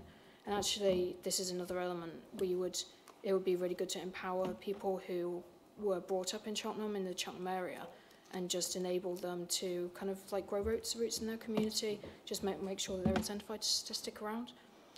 So I'm aware that there are going to be burdens, burdens on officers' time with this and um, operating costs are a concern. The fact that we've lost national-based funding, obviously like that's going to be an impact on this. But um, in some ways, we kind of really just want to start the ball rolling. We, we, we are hearing that there's an appetite. We want to act on it. And um, the stakes are quite high. It's, it's just making sure that people actually do have opportunities to engage. So hopefully this can be an iterative process. It can be something that once started, we can kind of, you know, contribute to incrementally. Um, it's something that all parties could potentially do at their discretion. It doesn't necessarily have to be a CBC focused project, but it could be something that the political groups take on. Um, I mean, the fact that we do have representation of a sort, it's really good that we have younger councillors in their 20s, but the thing is that according to 2021 census data, around 19% of Cheltenham's population of 118,800 people, they're aged 15 to 29. This is the age group that we want to approach. The thing is, it's 7.5% of CBC Council members fall within that same range. So, you know, in, in order to be kind of truly representative, we kind of need to evaluate this. Um, the thing is, it's really great we already have an accessibility forum to include people with disabilities. Um, it's really, really good that we are, you know, working to address all of these ambitious racial and cultural equity measures as well. But, you know, it makes sense to include young people in outreach work as well. So um, while it's not really appropriate for me as a 33-year-old, again, falling outside that range, Um, the thing is that there are measures that have been adopted elsewhere very successfully. We just need to start up and they don't cost too much money, hopefully. So things like work experience placements for school pupils, you know, just giving support, attending CBC meetings and asking questions, helping, like creating sort of like strategy groups where people can suggest motions or, you know, strategies for, um, you know, the CBC to follow and sort of requests that we can raise to GCC as well um, if there could be representation restored to CBC committees. I know that overview and scrutiny used to have youth reps, so that's something that could be quite simply reinstated. Um, learning about specific mechanisms of Cheltenham Borough Council oversight, um, you know, some of our partners, including Ubico, planning regulations, things like that would be really great. Um, supported invitations to county council meetings and general information sessions, shadowing councillors, officers conducting casework, of course, in accordance with data protection and privacy me measures, feeding into consultations or panels about lived experience, um, including cost of living or transport issues, and just um, actually empowering people to be able to share what they've learned with other people in their community, their friends, families, social groups, their schools. I think it just kind of really well equips people for actually, you know, both absorbing information and kind of giving back to their community. So it's it's a long-term investment, and um, you know, it, it's if we're feeling hopeful and optimistic for the future, I think that this is something that we really want to give some consideration to. So thanks. Thank you, Councillor Joy. Councillor Tailford. I, um, I have an amendment seconded by Councillor Chidley, if that's okay. Um, I think you should have a copy of it. Councillor Chidley's the seconder. Okay.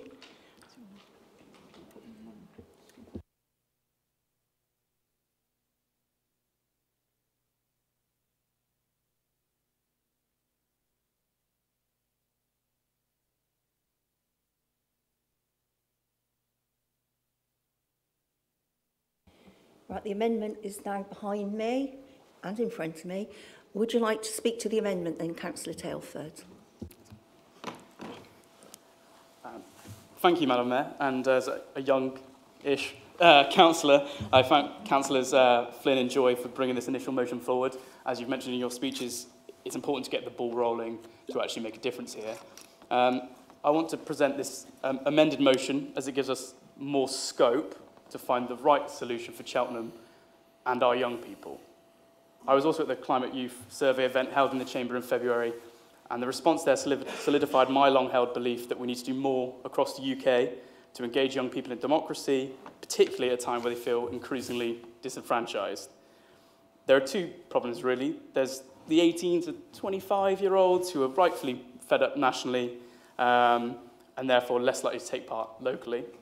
But then there are also the under 18s who, for the most part, have zero say in our voting system currently.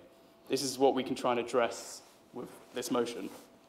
At the Climate Youth Survey and subsequently, I've been speaking to Megan Land from Stroud District Youth Council to find out more about how the Youth Council works for them in Stroud as the only one in the county. um, and how much it costs their council as well. This seems important to determine if it's actually feasible here at the moment um, in that format. For officer time, including qualified youth workers as well as transport, but excluding the cost of vehicles, uh, the general cost I'm told for them is around £125,000 a year for Stroud. This figure is surely out of reach for us during the current financial crisis to commit to, so I think it would be wrong to commit to the Youth Council without investigating ways of doing it in a more affordable and more sustainable way for Cheltenham and its taxpayers. The worst thing we could do is offer something to people, get these young people excited and involved and engaged, and then rip it out from under them because it costs too much. That would not help young people to feel engaged and would simply do the opposite. Councillor Boyes and I have been looking into ways that youth councils work in other places as well to see their methods, to see if that's appropriate, if it costs less than it does for Stroud. I think this is important to find a long-term solution for Cheltenham. What we also need to consider is the fact that we have plenty of young people that may not want to take part in a youth council. So how do we get them involved too? Despite being a councillor now, I probably wouldn't have when I was under 18. So, so it's important we engage all of those people as well. We need to make sure that the options that are chosen are implemented and implemented are the best for Cheltenham and its young people, and that they have a long-term future as part of our council. Not a quick fix for a headline, a long-term solution to help our young people to feel engaged and have a genuine say in the future of our town. It may be a youth council, and I per personally hope that some sort of solution to that would work, but it may be that another option is more suitable for engagement and long-term sustainability. It may be that we find multiple different solutions to combine together that can work in tandem with existing initiatives across the town. If this amended motion gets passed, I'm looking forward to offering any help I can in working for our young people. Thank you. I'm not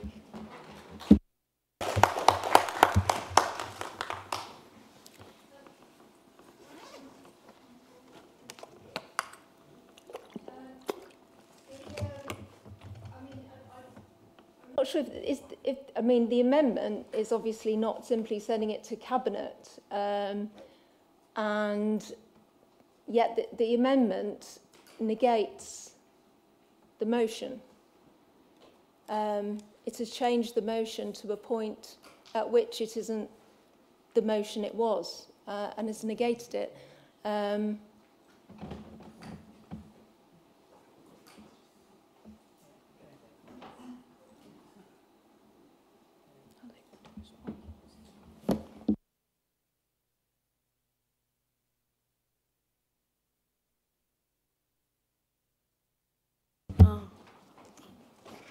complicated, the technology, obviously. Um, yeah, uh, thank, thank you, Madam Mayor. Thank, thank you, Councillor Flynn. Um, I think that the, um, I was going to um, let the, the, the seconder speak to, to the amendment, um, and then I was actually going to come in on this, this one and say, I think um, actually the um, amendment seeks to uh, refer the motion to the Cabinet for some further explanation. I don't think it negates the motion entirely because it talk, does talk about the Youth Council being an option, but it talks about there need to be costs and consideration of that, which I think is um, acceptable and a valid point.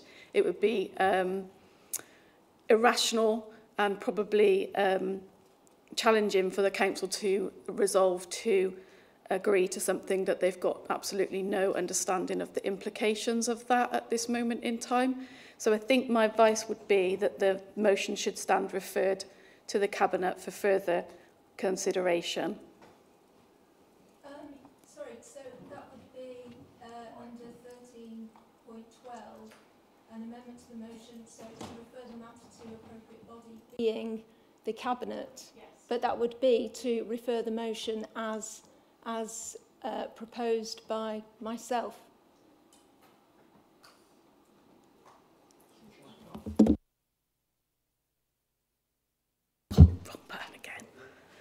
Um, yes, so the motion would be referred, as you submitted it, to Cabinet for them to consider. The, amend the, part, the thing that's put forward as the amendment can be part of that wider consideration because obviously the work that the Cabinet will probably do is probably going to be to look at the Youth Council as, an, as a whole piece of work and then bring it back to Council for a debate on it. Does that make sense? Uh, I'm sorry, I understood it as, as that the motion would go as it stood and just it would, the, that the amendment, according to the Constitution under 13.12, would be that the amendment would be to send it to the Cabinet, and that's it.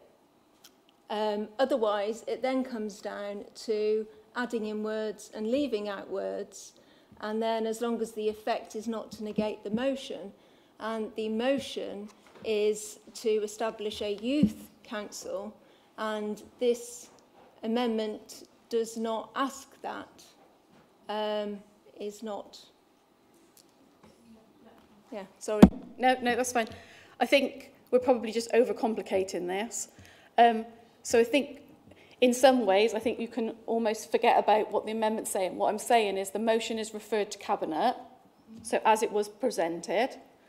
There's an amendment here, but the amendment pretty much seeks to refer it to Cabinet. It says it in a long-rounded way, and it adds other things in. But what I'm saying is if the motion goes to Cabinet, then it will come back to Council as probably a bigger piece of work that will look at other options as well. Does that make sense? Not happy? So I think the straightforward answer is the motion is the, the motion the motion is now will be referred to cabinet. That's the answer. Cabinet will then do a piece of work and then it will come back to council for a decision.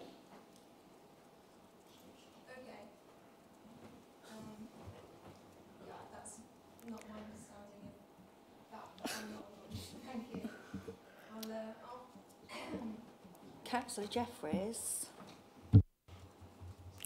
Thank you, Madam. Thank you, Madam Mayor. Presumably, the motion and the amendment and all of that directive travel will be go to will be going to cabinet.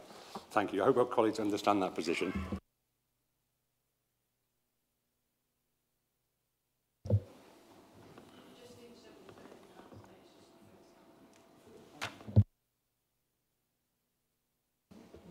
Right, so I've been informed that this goes as it is to Cabinet.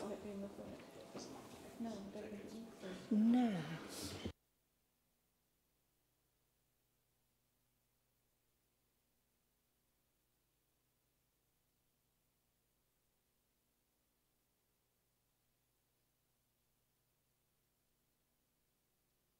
I think in the interest of fairness, really, Councillor Chidley, if you'd like to, um, if you'd like to speak to the amended motion.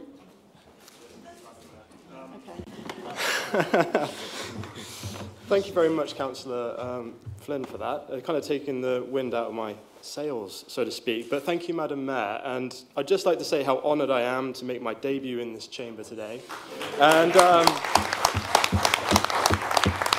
I'm also incredibly happy for that debut to be seconding Councillor Tailford's amendment. So, nice one, Isaac. Whilst I was running for Battle Battledown, I was surprised to hear so many comments about my age. A lot of them complimentary, obviously. Um, I was even reminded on BBC Radio that I am now one of the youngest serving councillors in the region, which is bonkers. But believe it or not, this is not a brag. the fact that somebody under 30 involved in local politics is so rare is indeed a problem. Madam Mayor, I'm sure most of us can remember the YouGov Youth Survey from 2021, which showed that young people are losing faith in democracy, and by a lot. And this is a worrying trend. So, I support the idea of a CBC platform to increase, increase youth engagement in local democracy. We need to remind the next generation of politicians that real change also occurs at a local level and not just in Westminster. However, it would be wise for this platform to be well researched and well thought through. It would need to be a long-lasting solution in order to make sure that as many young people as possible gain, gain access to this sort of platform, which I think will be greatly beneficial. We've just heard from a 25-year-old cabinet member today that has stolen the floor uh, with some trailblazing work. So we can just see the amount of potential we have in young people today in Cheltenham. Um, I would also like to say that any platform that the council investigates and goes into, I'd like to make sure that this is something that is inclusive of all of Cheltenham and perhaps not just by uh, some schools, maybe in the east side of town. Um, I was so lucky to go to Balcarres School, which I heard that in the past has contributed greatly to all youth engagement, but I'd like to see that more encompassing of the whole town and maybe get something from All Saints and, and so on, etc. But uh, that's all really I had to say about it. So thank you very much.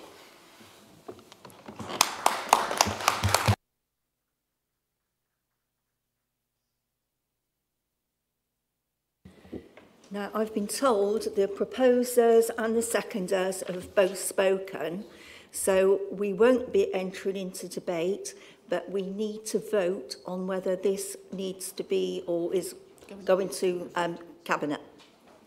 So are we using the electronic vote?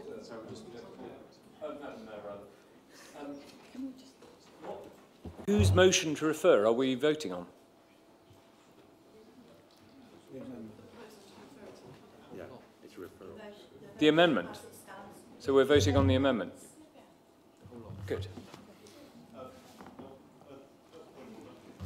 Madam Mayor, um, whilst we have, have um, asked to refer this, um, I think if members wanted to make comments, it might be um, stifling if they were prevented from doing so. I'll seek the advice of the monitoring officer. no, I, I thought that, that might come up, that might come up. I think what you need to remember here, Council, is that what, what this is doing, we're not at this point accepting or rejecting the motion per se. So we're, we're, it's being asked for it to be referred on to another, um, an, another body for consideration. Members will at the, um, be able to attend that cabinet meeting that looks at this if it's a, if it's a separate meeting. Um, and equally, when the report comes back to full council, there will be a full debate on it then. So I don't think that there can be any suggestion that anyone's is stifling the debate by just not allowing it to happen now. It's just deferring the debate to another time. Thank you. Is everybody clear? Okay. Are we using uh, the electronic system or is it a show of hands? We'll use the electronic voting system. Thank you.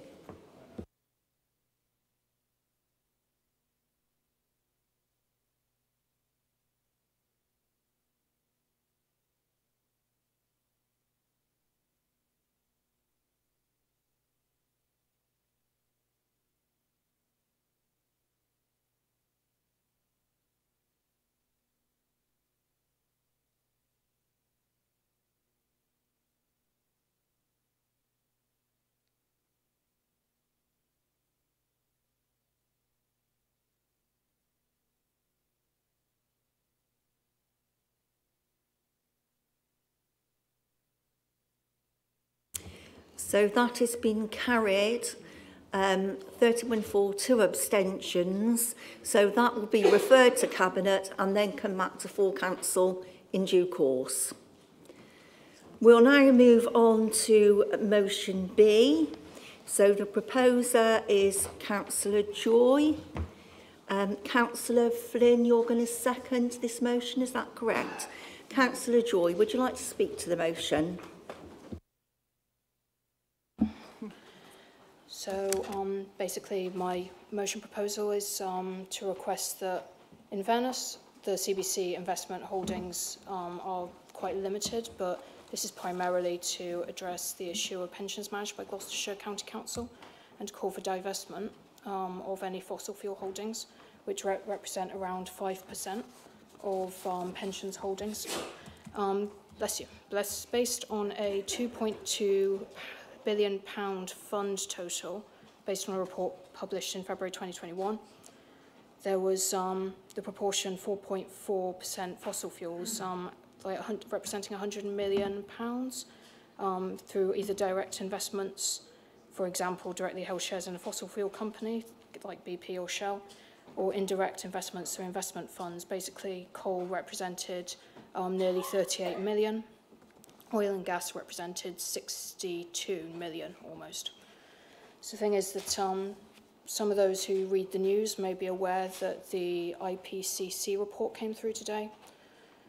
It's um, the final stage of the climate report that they've been preparing over a number of years, and they've basically said that um, in terms of climate breakdown, it's now or never. So um, a lot of people will be taking climate change as seriously as it deserves to be taken. Um, I myself, in a more direct frame, work on the audit committee. So um, I spend a lot of time reflecting on risk management. It is quite overwhelming. It's very difficult to predict the effect the climate breakdown will end up having on us as individuals or as, you know, in a wider society in years to come in concert with other variables. So we only ever can do the best of what we have.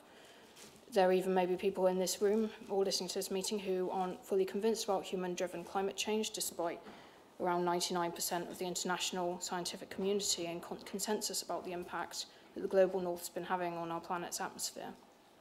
And we can see that there is like profound negative impact of fossil fuel use, both locally and worldwide. We can see the impact of air pollution. I mean, the fact that um, some, like many of the heritage buildings in Cheltenham that are whitewashed are grimy from exhaust pipe emissions. We can see that oil spills occur almost daily um, from pipelines or you know, from, um, you know, like spillages at sea. Anyone could tell you what an oil spill's effect on wildlife would be for one thing, and just, just the fact that we can see these very direct results of fossil fuel dependency, it's something that we need to have a discussion about. The thing is that ultimately, while it's not CBC who are managing the pensions funds directly, it's really important that we actually do take measures to make sure that the money being invested on our behalf by um, Gloucestershire County Council is actually being invested responsibly.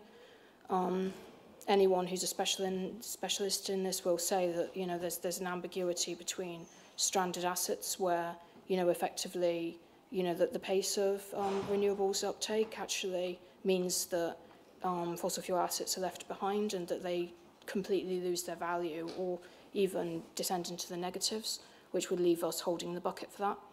Um, but in the meantime, we'll also have been losing out on the opportunities that renewables would have invested, like, you know, actually afforded us as an alternative. The thing is, while I was growing up, there was actually a persistent assumption that someday the oil would run out. I mean, it's a limited resource. It's effectively ancient forests that have been densely compressed in over millions of years into energy-rich carbon deposits, but we're not going to have any of more of those. Instead, now, of instead of all of that stuff just magically appearing again, we're just using more desperate and destructive ways to um, to accrue these sorts of supplies.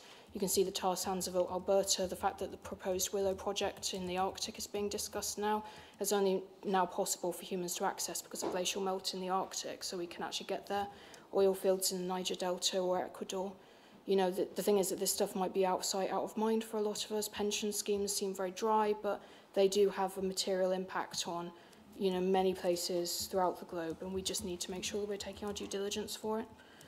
Um, the thing is that um, based, based at CBC um, in Cheltenham, most of our reserves generally are ring fenced with restrictions. So there's, I have reservations about how viable it is for us to divest. But the thing is that um, our strategy is reviewed every three years. There are opportunities for re-evaluation and in the meantime focusing more directly on the Gloucestershire Pension Fund Investment Strategy Statement um, that was dated 8th of December 2022, it was noted on page 10 that the fund will not seek to exclude investments that are not barred by UK law in the belief that engagement is preferable to divestment. This essentially boils down to just asking fossil fuel providers nicely if they will sort themselves out and actually stop causing harm and that's not good enough anymore. We're, we're seeing, you know, the impact that the war in Ukraine is having. We can see that there's, you know, long-term environmental responsibility that's being deferred in favour of short-term profits. As long as money, as long as these firms are being funded, then there's money being diverted to them that explicitly supports them in their behaviours, and it just doesn't seem to be worth it anymore. Um, just the way we're enabling this short, destructive short-termism. It's, it's not responsible. The, the, for most of these corporations, the core business model is to simply create profits that aren't actually driven back into renewable energy alternatives. There are measures that we can request, and I would really like CBC to request those of Gloucestershire like County Council, creating a task force for climate-related disclosures regulations, such as, as Cornwall has, a dedicated responsible investment officer such as the Oxfordshire Council. The fact is that we don't need to wait for national laws to change before we examine the impact and responsibility that we have. Um, essentially, the primary aim that we want to achieve as quickly as possible, and the situation is very urgent, is monitoring and promoting environmental, social and governance investment by the pension funds that are at our disposal. So I would really like to call on my colleagues to weigh this up very carefully and just try to make sure we're doing our due diligence, as I've said. Thank you.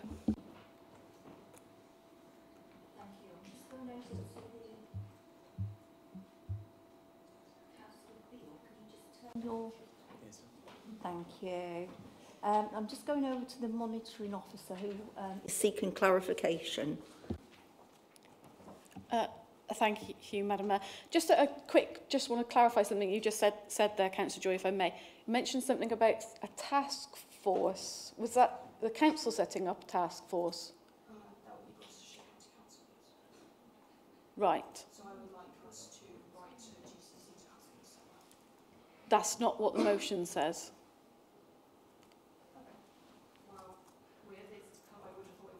Request that all pensions managed by Gloucestershire County Council are similarly divested in a responsible way. That was mostly a suggestion for what we could recommend, essentially. That's fine.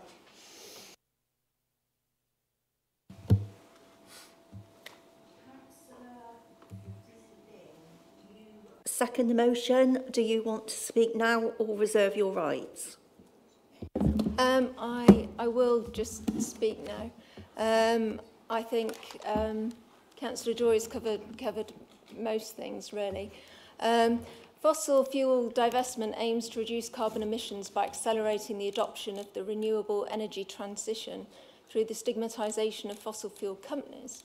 This includes putting public pressure on companies that are currently involved in fossil fuel extraction to invest in renewable energy.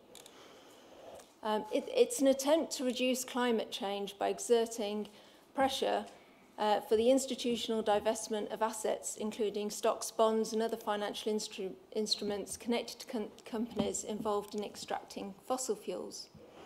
Why is this important to Cheltenham Borough Council? Corporate Plan Key Priority 2, Net Zero Cheltenham, says that we strongly believe that in order to ask others to make the necessary changes to their organisations and lives, we must be seen to be leading on making these changes ourselves. I would go further and say that we shouldn't just be seen to be leading on making these changes. We should lead. And this includes the stance we take on both our own investments and that of the County Council's pensions. We should be leading on this to set an example to businesses and individuals in the town. We declared a climate emergency nearly four years ago now, plenty of time to move investments away from fossil fuels. Yet we heard in last month's meeting that this council still hasn't completely done that. The County Council declared a climate emergency the month before we did. They too have had nearly four years. It's too long. Thank you.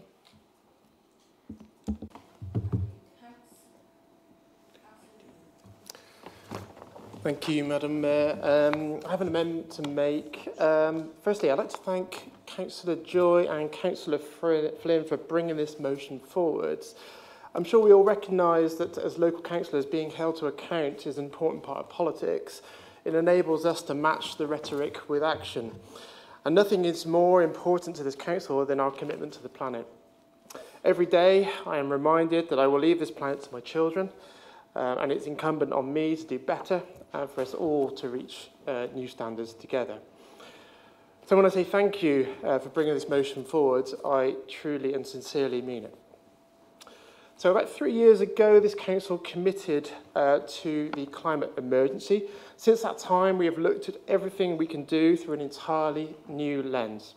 I dare say that no one in this chamber will claim uh, that we've, we've done everything we can. Net zero is the ultimate challenge, and we must continually review uh, our efforts in order to move to a better future.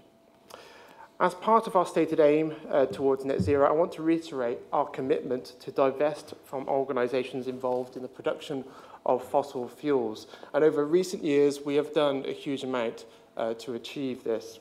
As I speak, um, or at the end of February, the equities we hold in organisations focused on fossil fuels account for less than 1%, that is 0.7% of our overall investment portfolio. But as I stated, our commitment is to make that zero. These equities are part of a larger pooled investment which is managed as a fund. Currently, this fund returns £120,000 per year into the council's budget, which we use towards local services. Um, more so, due to market conditions, uh, leaving this fund now would result in significant losses of around about £383,000. Um, so this, if we were to remove ourselves from this fund, we would inc incur financial losses and we would have to make cuts to local services. To mitigate uh, this financial burden, our financial advisors, the Treasury, uh, financial officers and our Treasury Ma Management Committee um, have been closely monitoring the market conditions and will exit from this fund at the earliest opportunity. Of course, we would prefer to make this uh, change immediately, uh, but whilst we are in a challenging environment of rising inflation and ever-decreasing support from our government, we owe it to residents to exit in a controlled manner. Finally, turning to our staff pension arrangements, as you are aware, pension schemes are held and managed by Gloucestershire County Council. We know the, the County Council is also committed to net zero, so we would be pleased to organise a briefing for all members so they can demonstrate their commitment to divesting from fossil fuels. Thank you.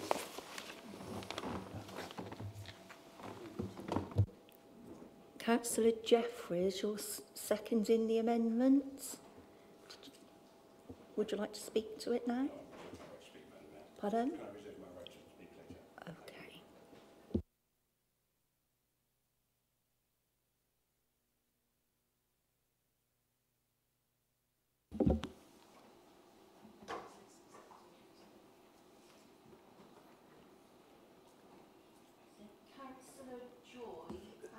the proposer of this um, motion, do you accept the amendments? point of order, really, because the, the, the original motion um, makes, a, you know, a clear request. And the amendment is very different from that. And it's, uh, it's, it's, the amendment is, let's invite someone from the county to talk to us. That is not, that is very different from what this motion says. And I believe that that amendment has again negated the motion. Um, Can I just add something as well? Is, is, this, is it possible for instead of this to be an amendment? Can they just submit it as their own motion?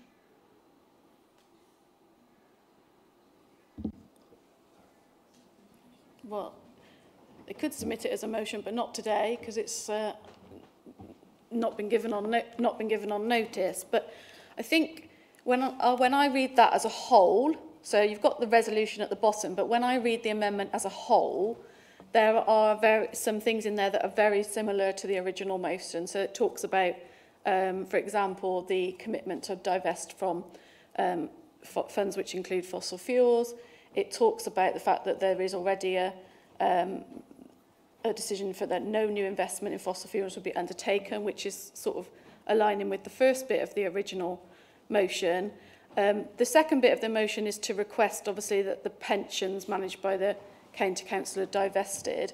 I think what the suggestion here is, is that um, we ask them to come in and explain how they are doing that. So I'm not sure that that negates what you're asking. I think it's just asking them to come and explain how they're doing what you want them to do.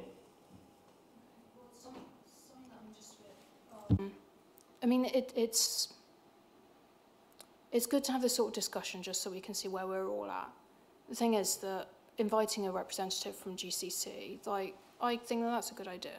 But the thing is that what do we then subsequently do? You can appreciate that I have a sense of general urgency with this. You know, I, I understand that, you know, in some ways there are fiscal concerns to us transferring our investments in this way. But, like, I, the planet is literally dying. Like, are we debating in terms of that? Like, it's still something that's really imperative. You know, the, the thing is that ulti ultimately, you know, we, we, we may be quite, you know, we're, we're basically in this position where we're time poor, we're time, we're time poor as well. We don't have time, we don't have money. What is the responsible thing for us to be doing here?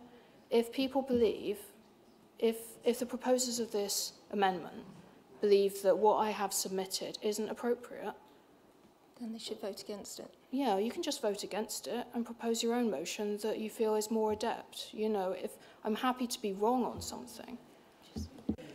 Well, I'm going over to the monitoring officer.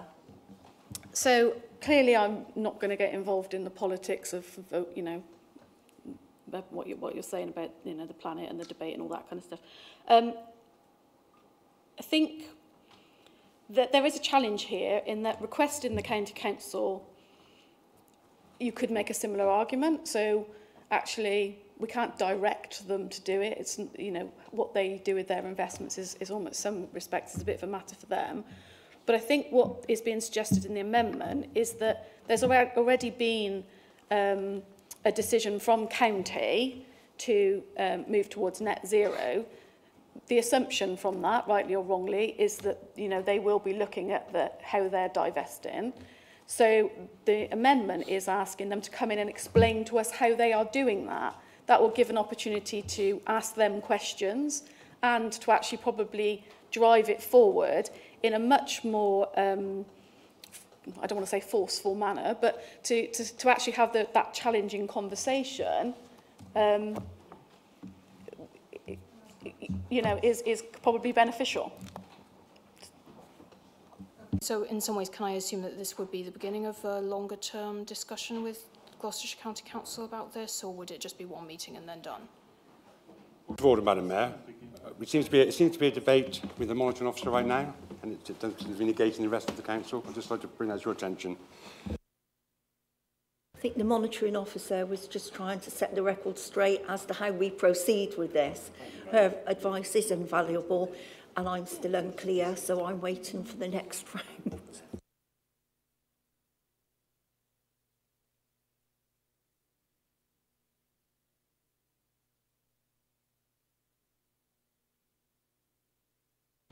So the amendment stands and we're now entering into debate. Councillor Willingham. Thank you, Madam Mayor. Um, I'll just start by reading, reading some um, text. So um, it says, this is in terms of Cheltenham Borough Council, it says, we are committed in the longer, longer term to divesting from oil and gas, but need to balance these priorities with ensuring we are making right financial decisions to safeguard our residents, businesses and communities. We will continue to closely monitor the performance of this fund and when it is financially prudent to do so, we'll consider the climate implications of how we invest this money in the future. Um, the same piece of, same paragraph also notes that the capital, the current capital value of the fund is, for, is valued £419,000 less than the original £2 million invested. And that is on page 67 of today's agenda that the Green Party, um, along with everyone in this, in this council, just voted in favour of because it was a unanimous decision. So you've just voted for this.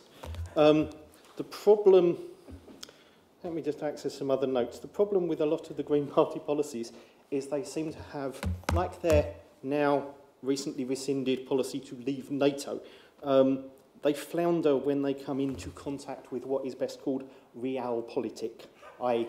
reality.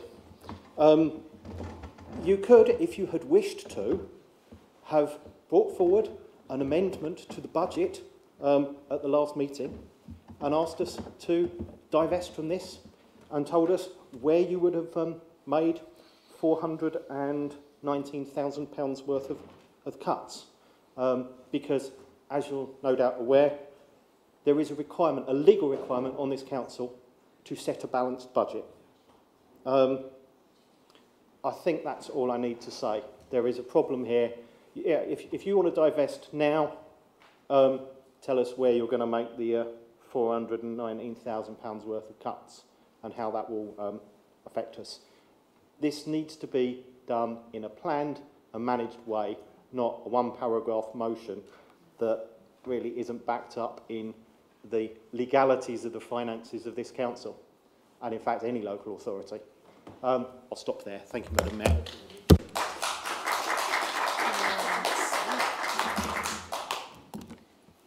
I have Councillor Baker next. Uh, yeah, thank you, Madam Mayor. I mean, I think we've all got massive sympathy with the uh, original motion. All local authorities, without exception, have got investments in fossil fuels. Brighton Council, which is green-led, um, has investments in coal, oil and gas. And they, like us, have been trying to reduce those investments over a period of time. And that is what we are doing. We have already started that process. We are on that road. Brighton is on that road too. But they, like us, realise you cannot just afford to dump them overnight at a substantial cost to the ratepayer. If the Greens, Green Party really uh, want to do this, tell us how you're going to fund the £400,000 shortfall. I'd be quite interested to hear. The way to deal with this um, is actually to propose a motion at County Council, and actually I'm quite minded to do that as a County Councillor, um, to propose that motion at County Council uh, and just to see what the response will be there. And the response will be the same. The response will be, we are trying to reduce our holdings in fossil fuel, but it's not something that you can do overnight for the reasons I've just explained. Brighton have got the problem, we've got the problem, every local authority has got the problem. And we're all trying to divulge, get out of this disgusting, filthy industry. But unfortunately, it cannot be done overnight. Said. Well said. Any other member? No? Councillor Jeffries? Sorry.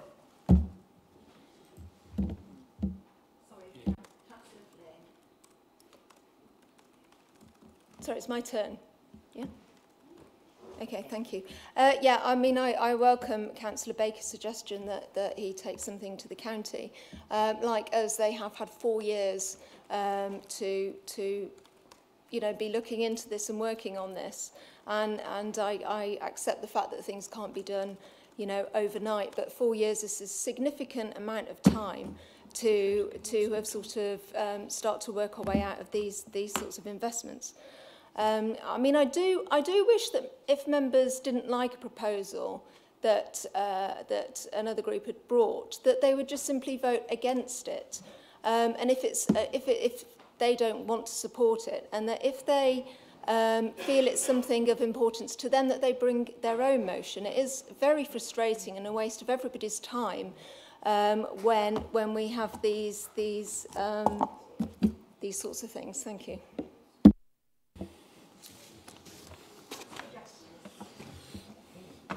Thank you, Madam Mayor. I listened to Councillor Flynn's advice. I won't take it because that's democracy. Live with it.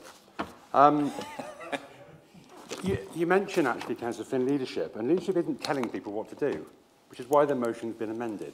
Because telling the county council to divest is a wonderful, fanciful thing, and they'll go, hmm, thank you very much for that suggestion. Actually inviting them here, okay, to understand, so we can get a broader understanding of the direction of travel. Because actually, I don't understand where their direction of travel is, so I, I expect colleagues across the chamber would like to understand as well. They might be on a, a faster trajectory. We might be able to pick up some hints and tips. They might be on a slower trajectory. I don't know. This Borough Council's commitment is very clear. Investments that were unclean were made some time ago, and we will divest, and we won't invest in unclean investments in the future. So I welcome the amendment. Um, Councillor Bill, thank you very much for the opportunity to second this amendment. And I welcome the County Council um, representative from their pensions to come here and explain somewhat further as to what their direction of travel is. Thank you, Madam Mayor.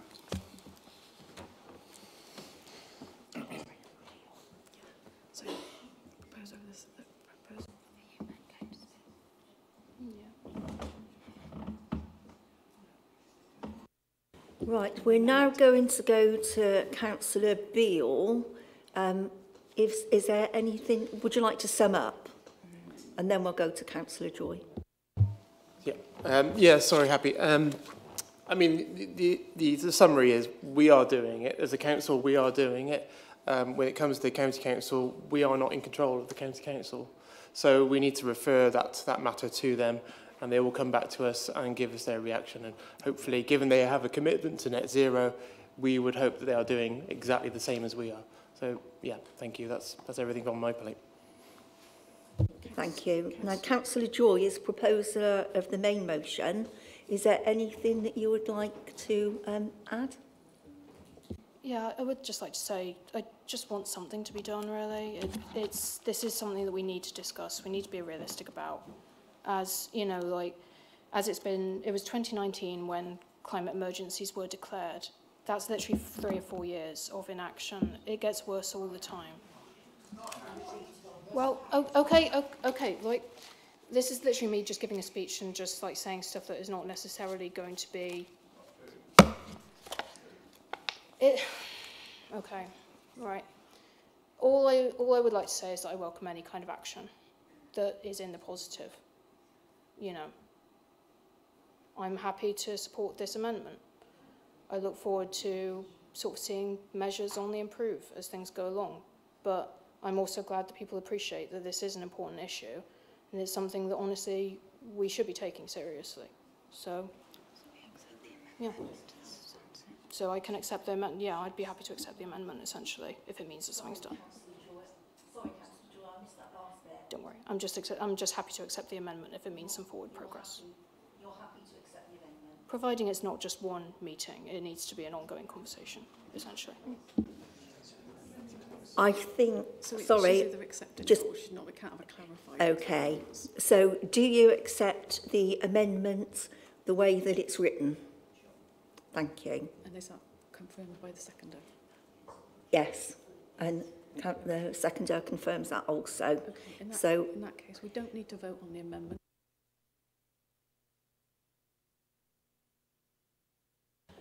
Right, so the amendment becomes the sub substantive motion.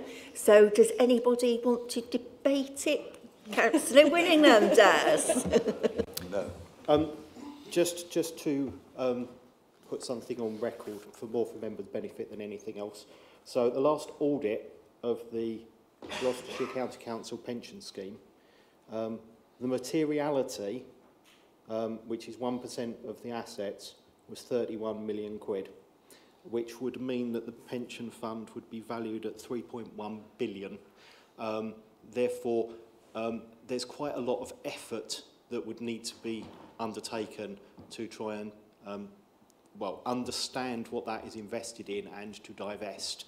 Um, and I think if we underestimate how difficult that is, then it could put a lot of um, pensioners into, um, from not just our council, but councils and public sector bodies across Gloucestershire into considerable difficulty. So um, I think it's worth members just being aware of the, the scale of the task that they are requesting Gloucestershire undertake. Thank you.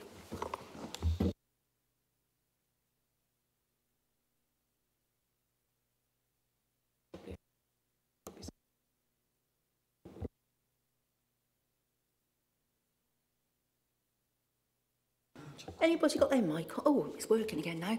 Um, does anybody else want to contribute to the debates? Councillor Wilkinson. Thank you, Mayor.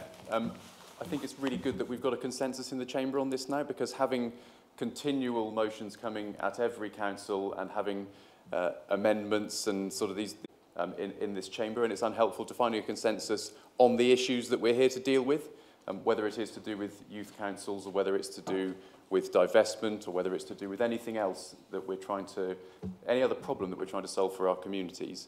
Um, and you know, it is always very easy to, to go on Google and find out some information and find out timescales and work out that it's quite awkward.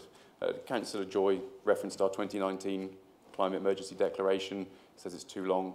Uh, as I understand it, Brighton voted for divestment a couple of years before that.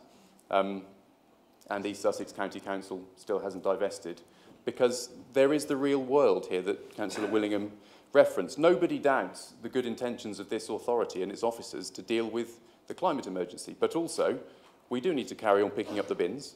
We will need to carry on running our parks and gardens. We will need to carry on running the No Child Left Behind scheme. And if we want to set up things like youth councils, they'll need to be paid for too in due course. So we do need to do this in a structured way that works and that brings people along with us and doesn't put the rest of our operations on behalf of this town on a day-to-day -day basis at risk. So I think it's really good that we've got consensus. I think we've had a really good debate. We've had a good airing of the issues. I would commend Councillor Joy for her decision to take on the amendment because I think that shows that we can do proper consensus-based politics where we can work with one another. And as a liberal pluralist, I think that's the way we should operate in this chamber. We should always be looking for consensus. That is what residents expect of us. And I'm pleased that on this occasion, we've managed to find that.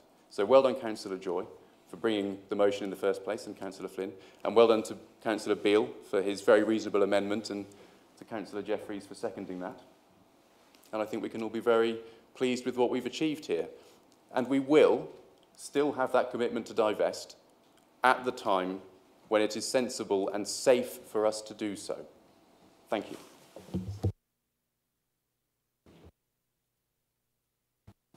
Thank you. Can we just have the amendment back on the screen, please, so we can see the exact... Thank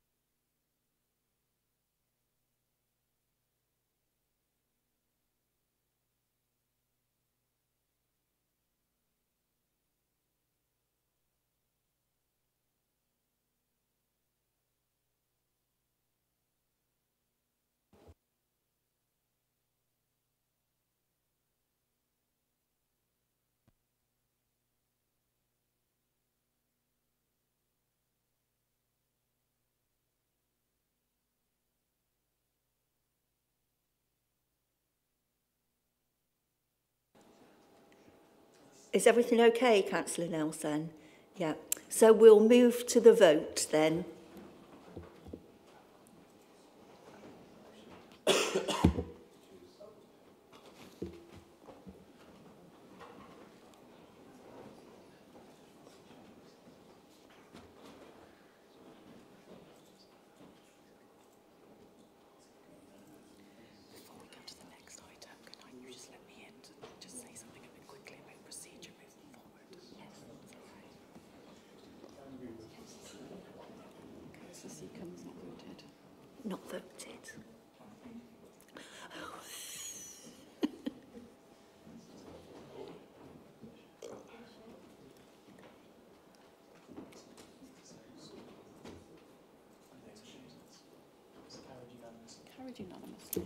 and that has been carried unanimously. Before we move on to the um, final item on the agenda, I'd like to go back to the monitoring officer. Thank you, Madam Mayor. Um, yeah, just a, a, a quick point, um, members. Um, the Chief Executive and I were having a, a, a brief discussion throughout that about motions moving forward. It may be beneficial when um, moving an amendment if uh, we actually do spell out in there what the changes are, so what's been added, what's been removed, what's just for clarification so that we don't get into the, you know, is it, is it actually what the amendment originally said and what's it actually changed? So moving forward, perhaps that's something members could be mindful of when they're putting together their amendments.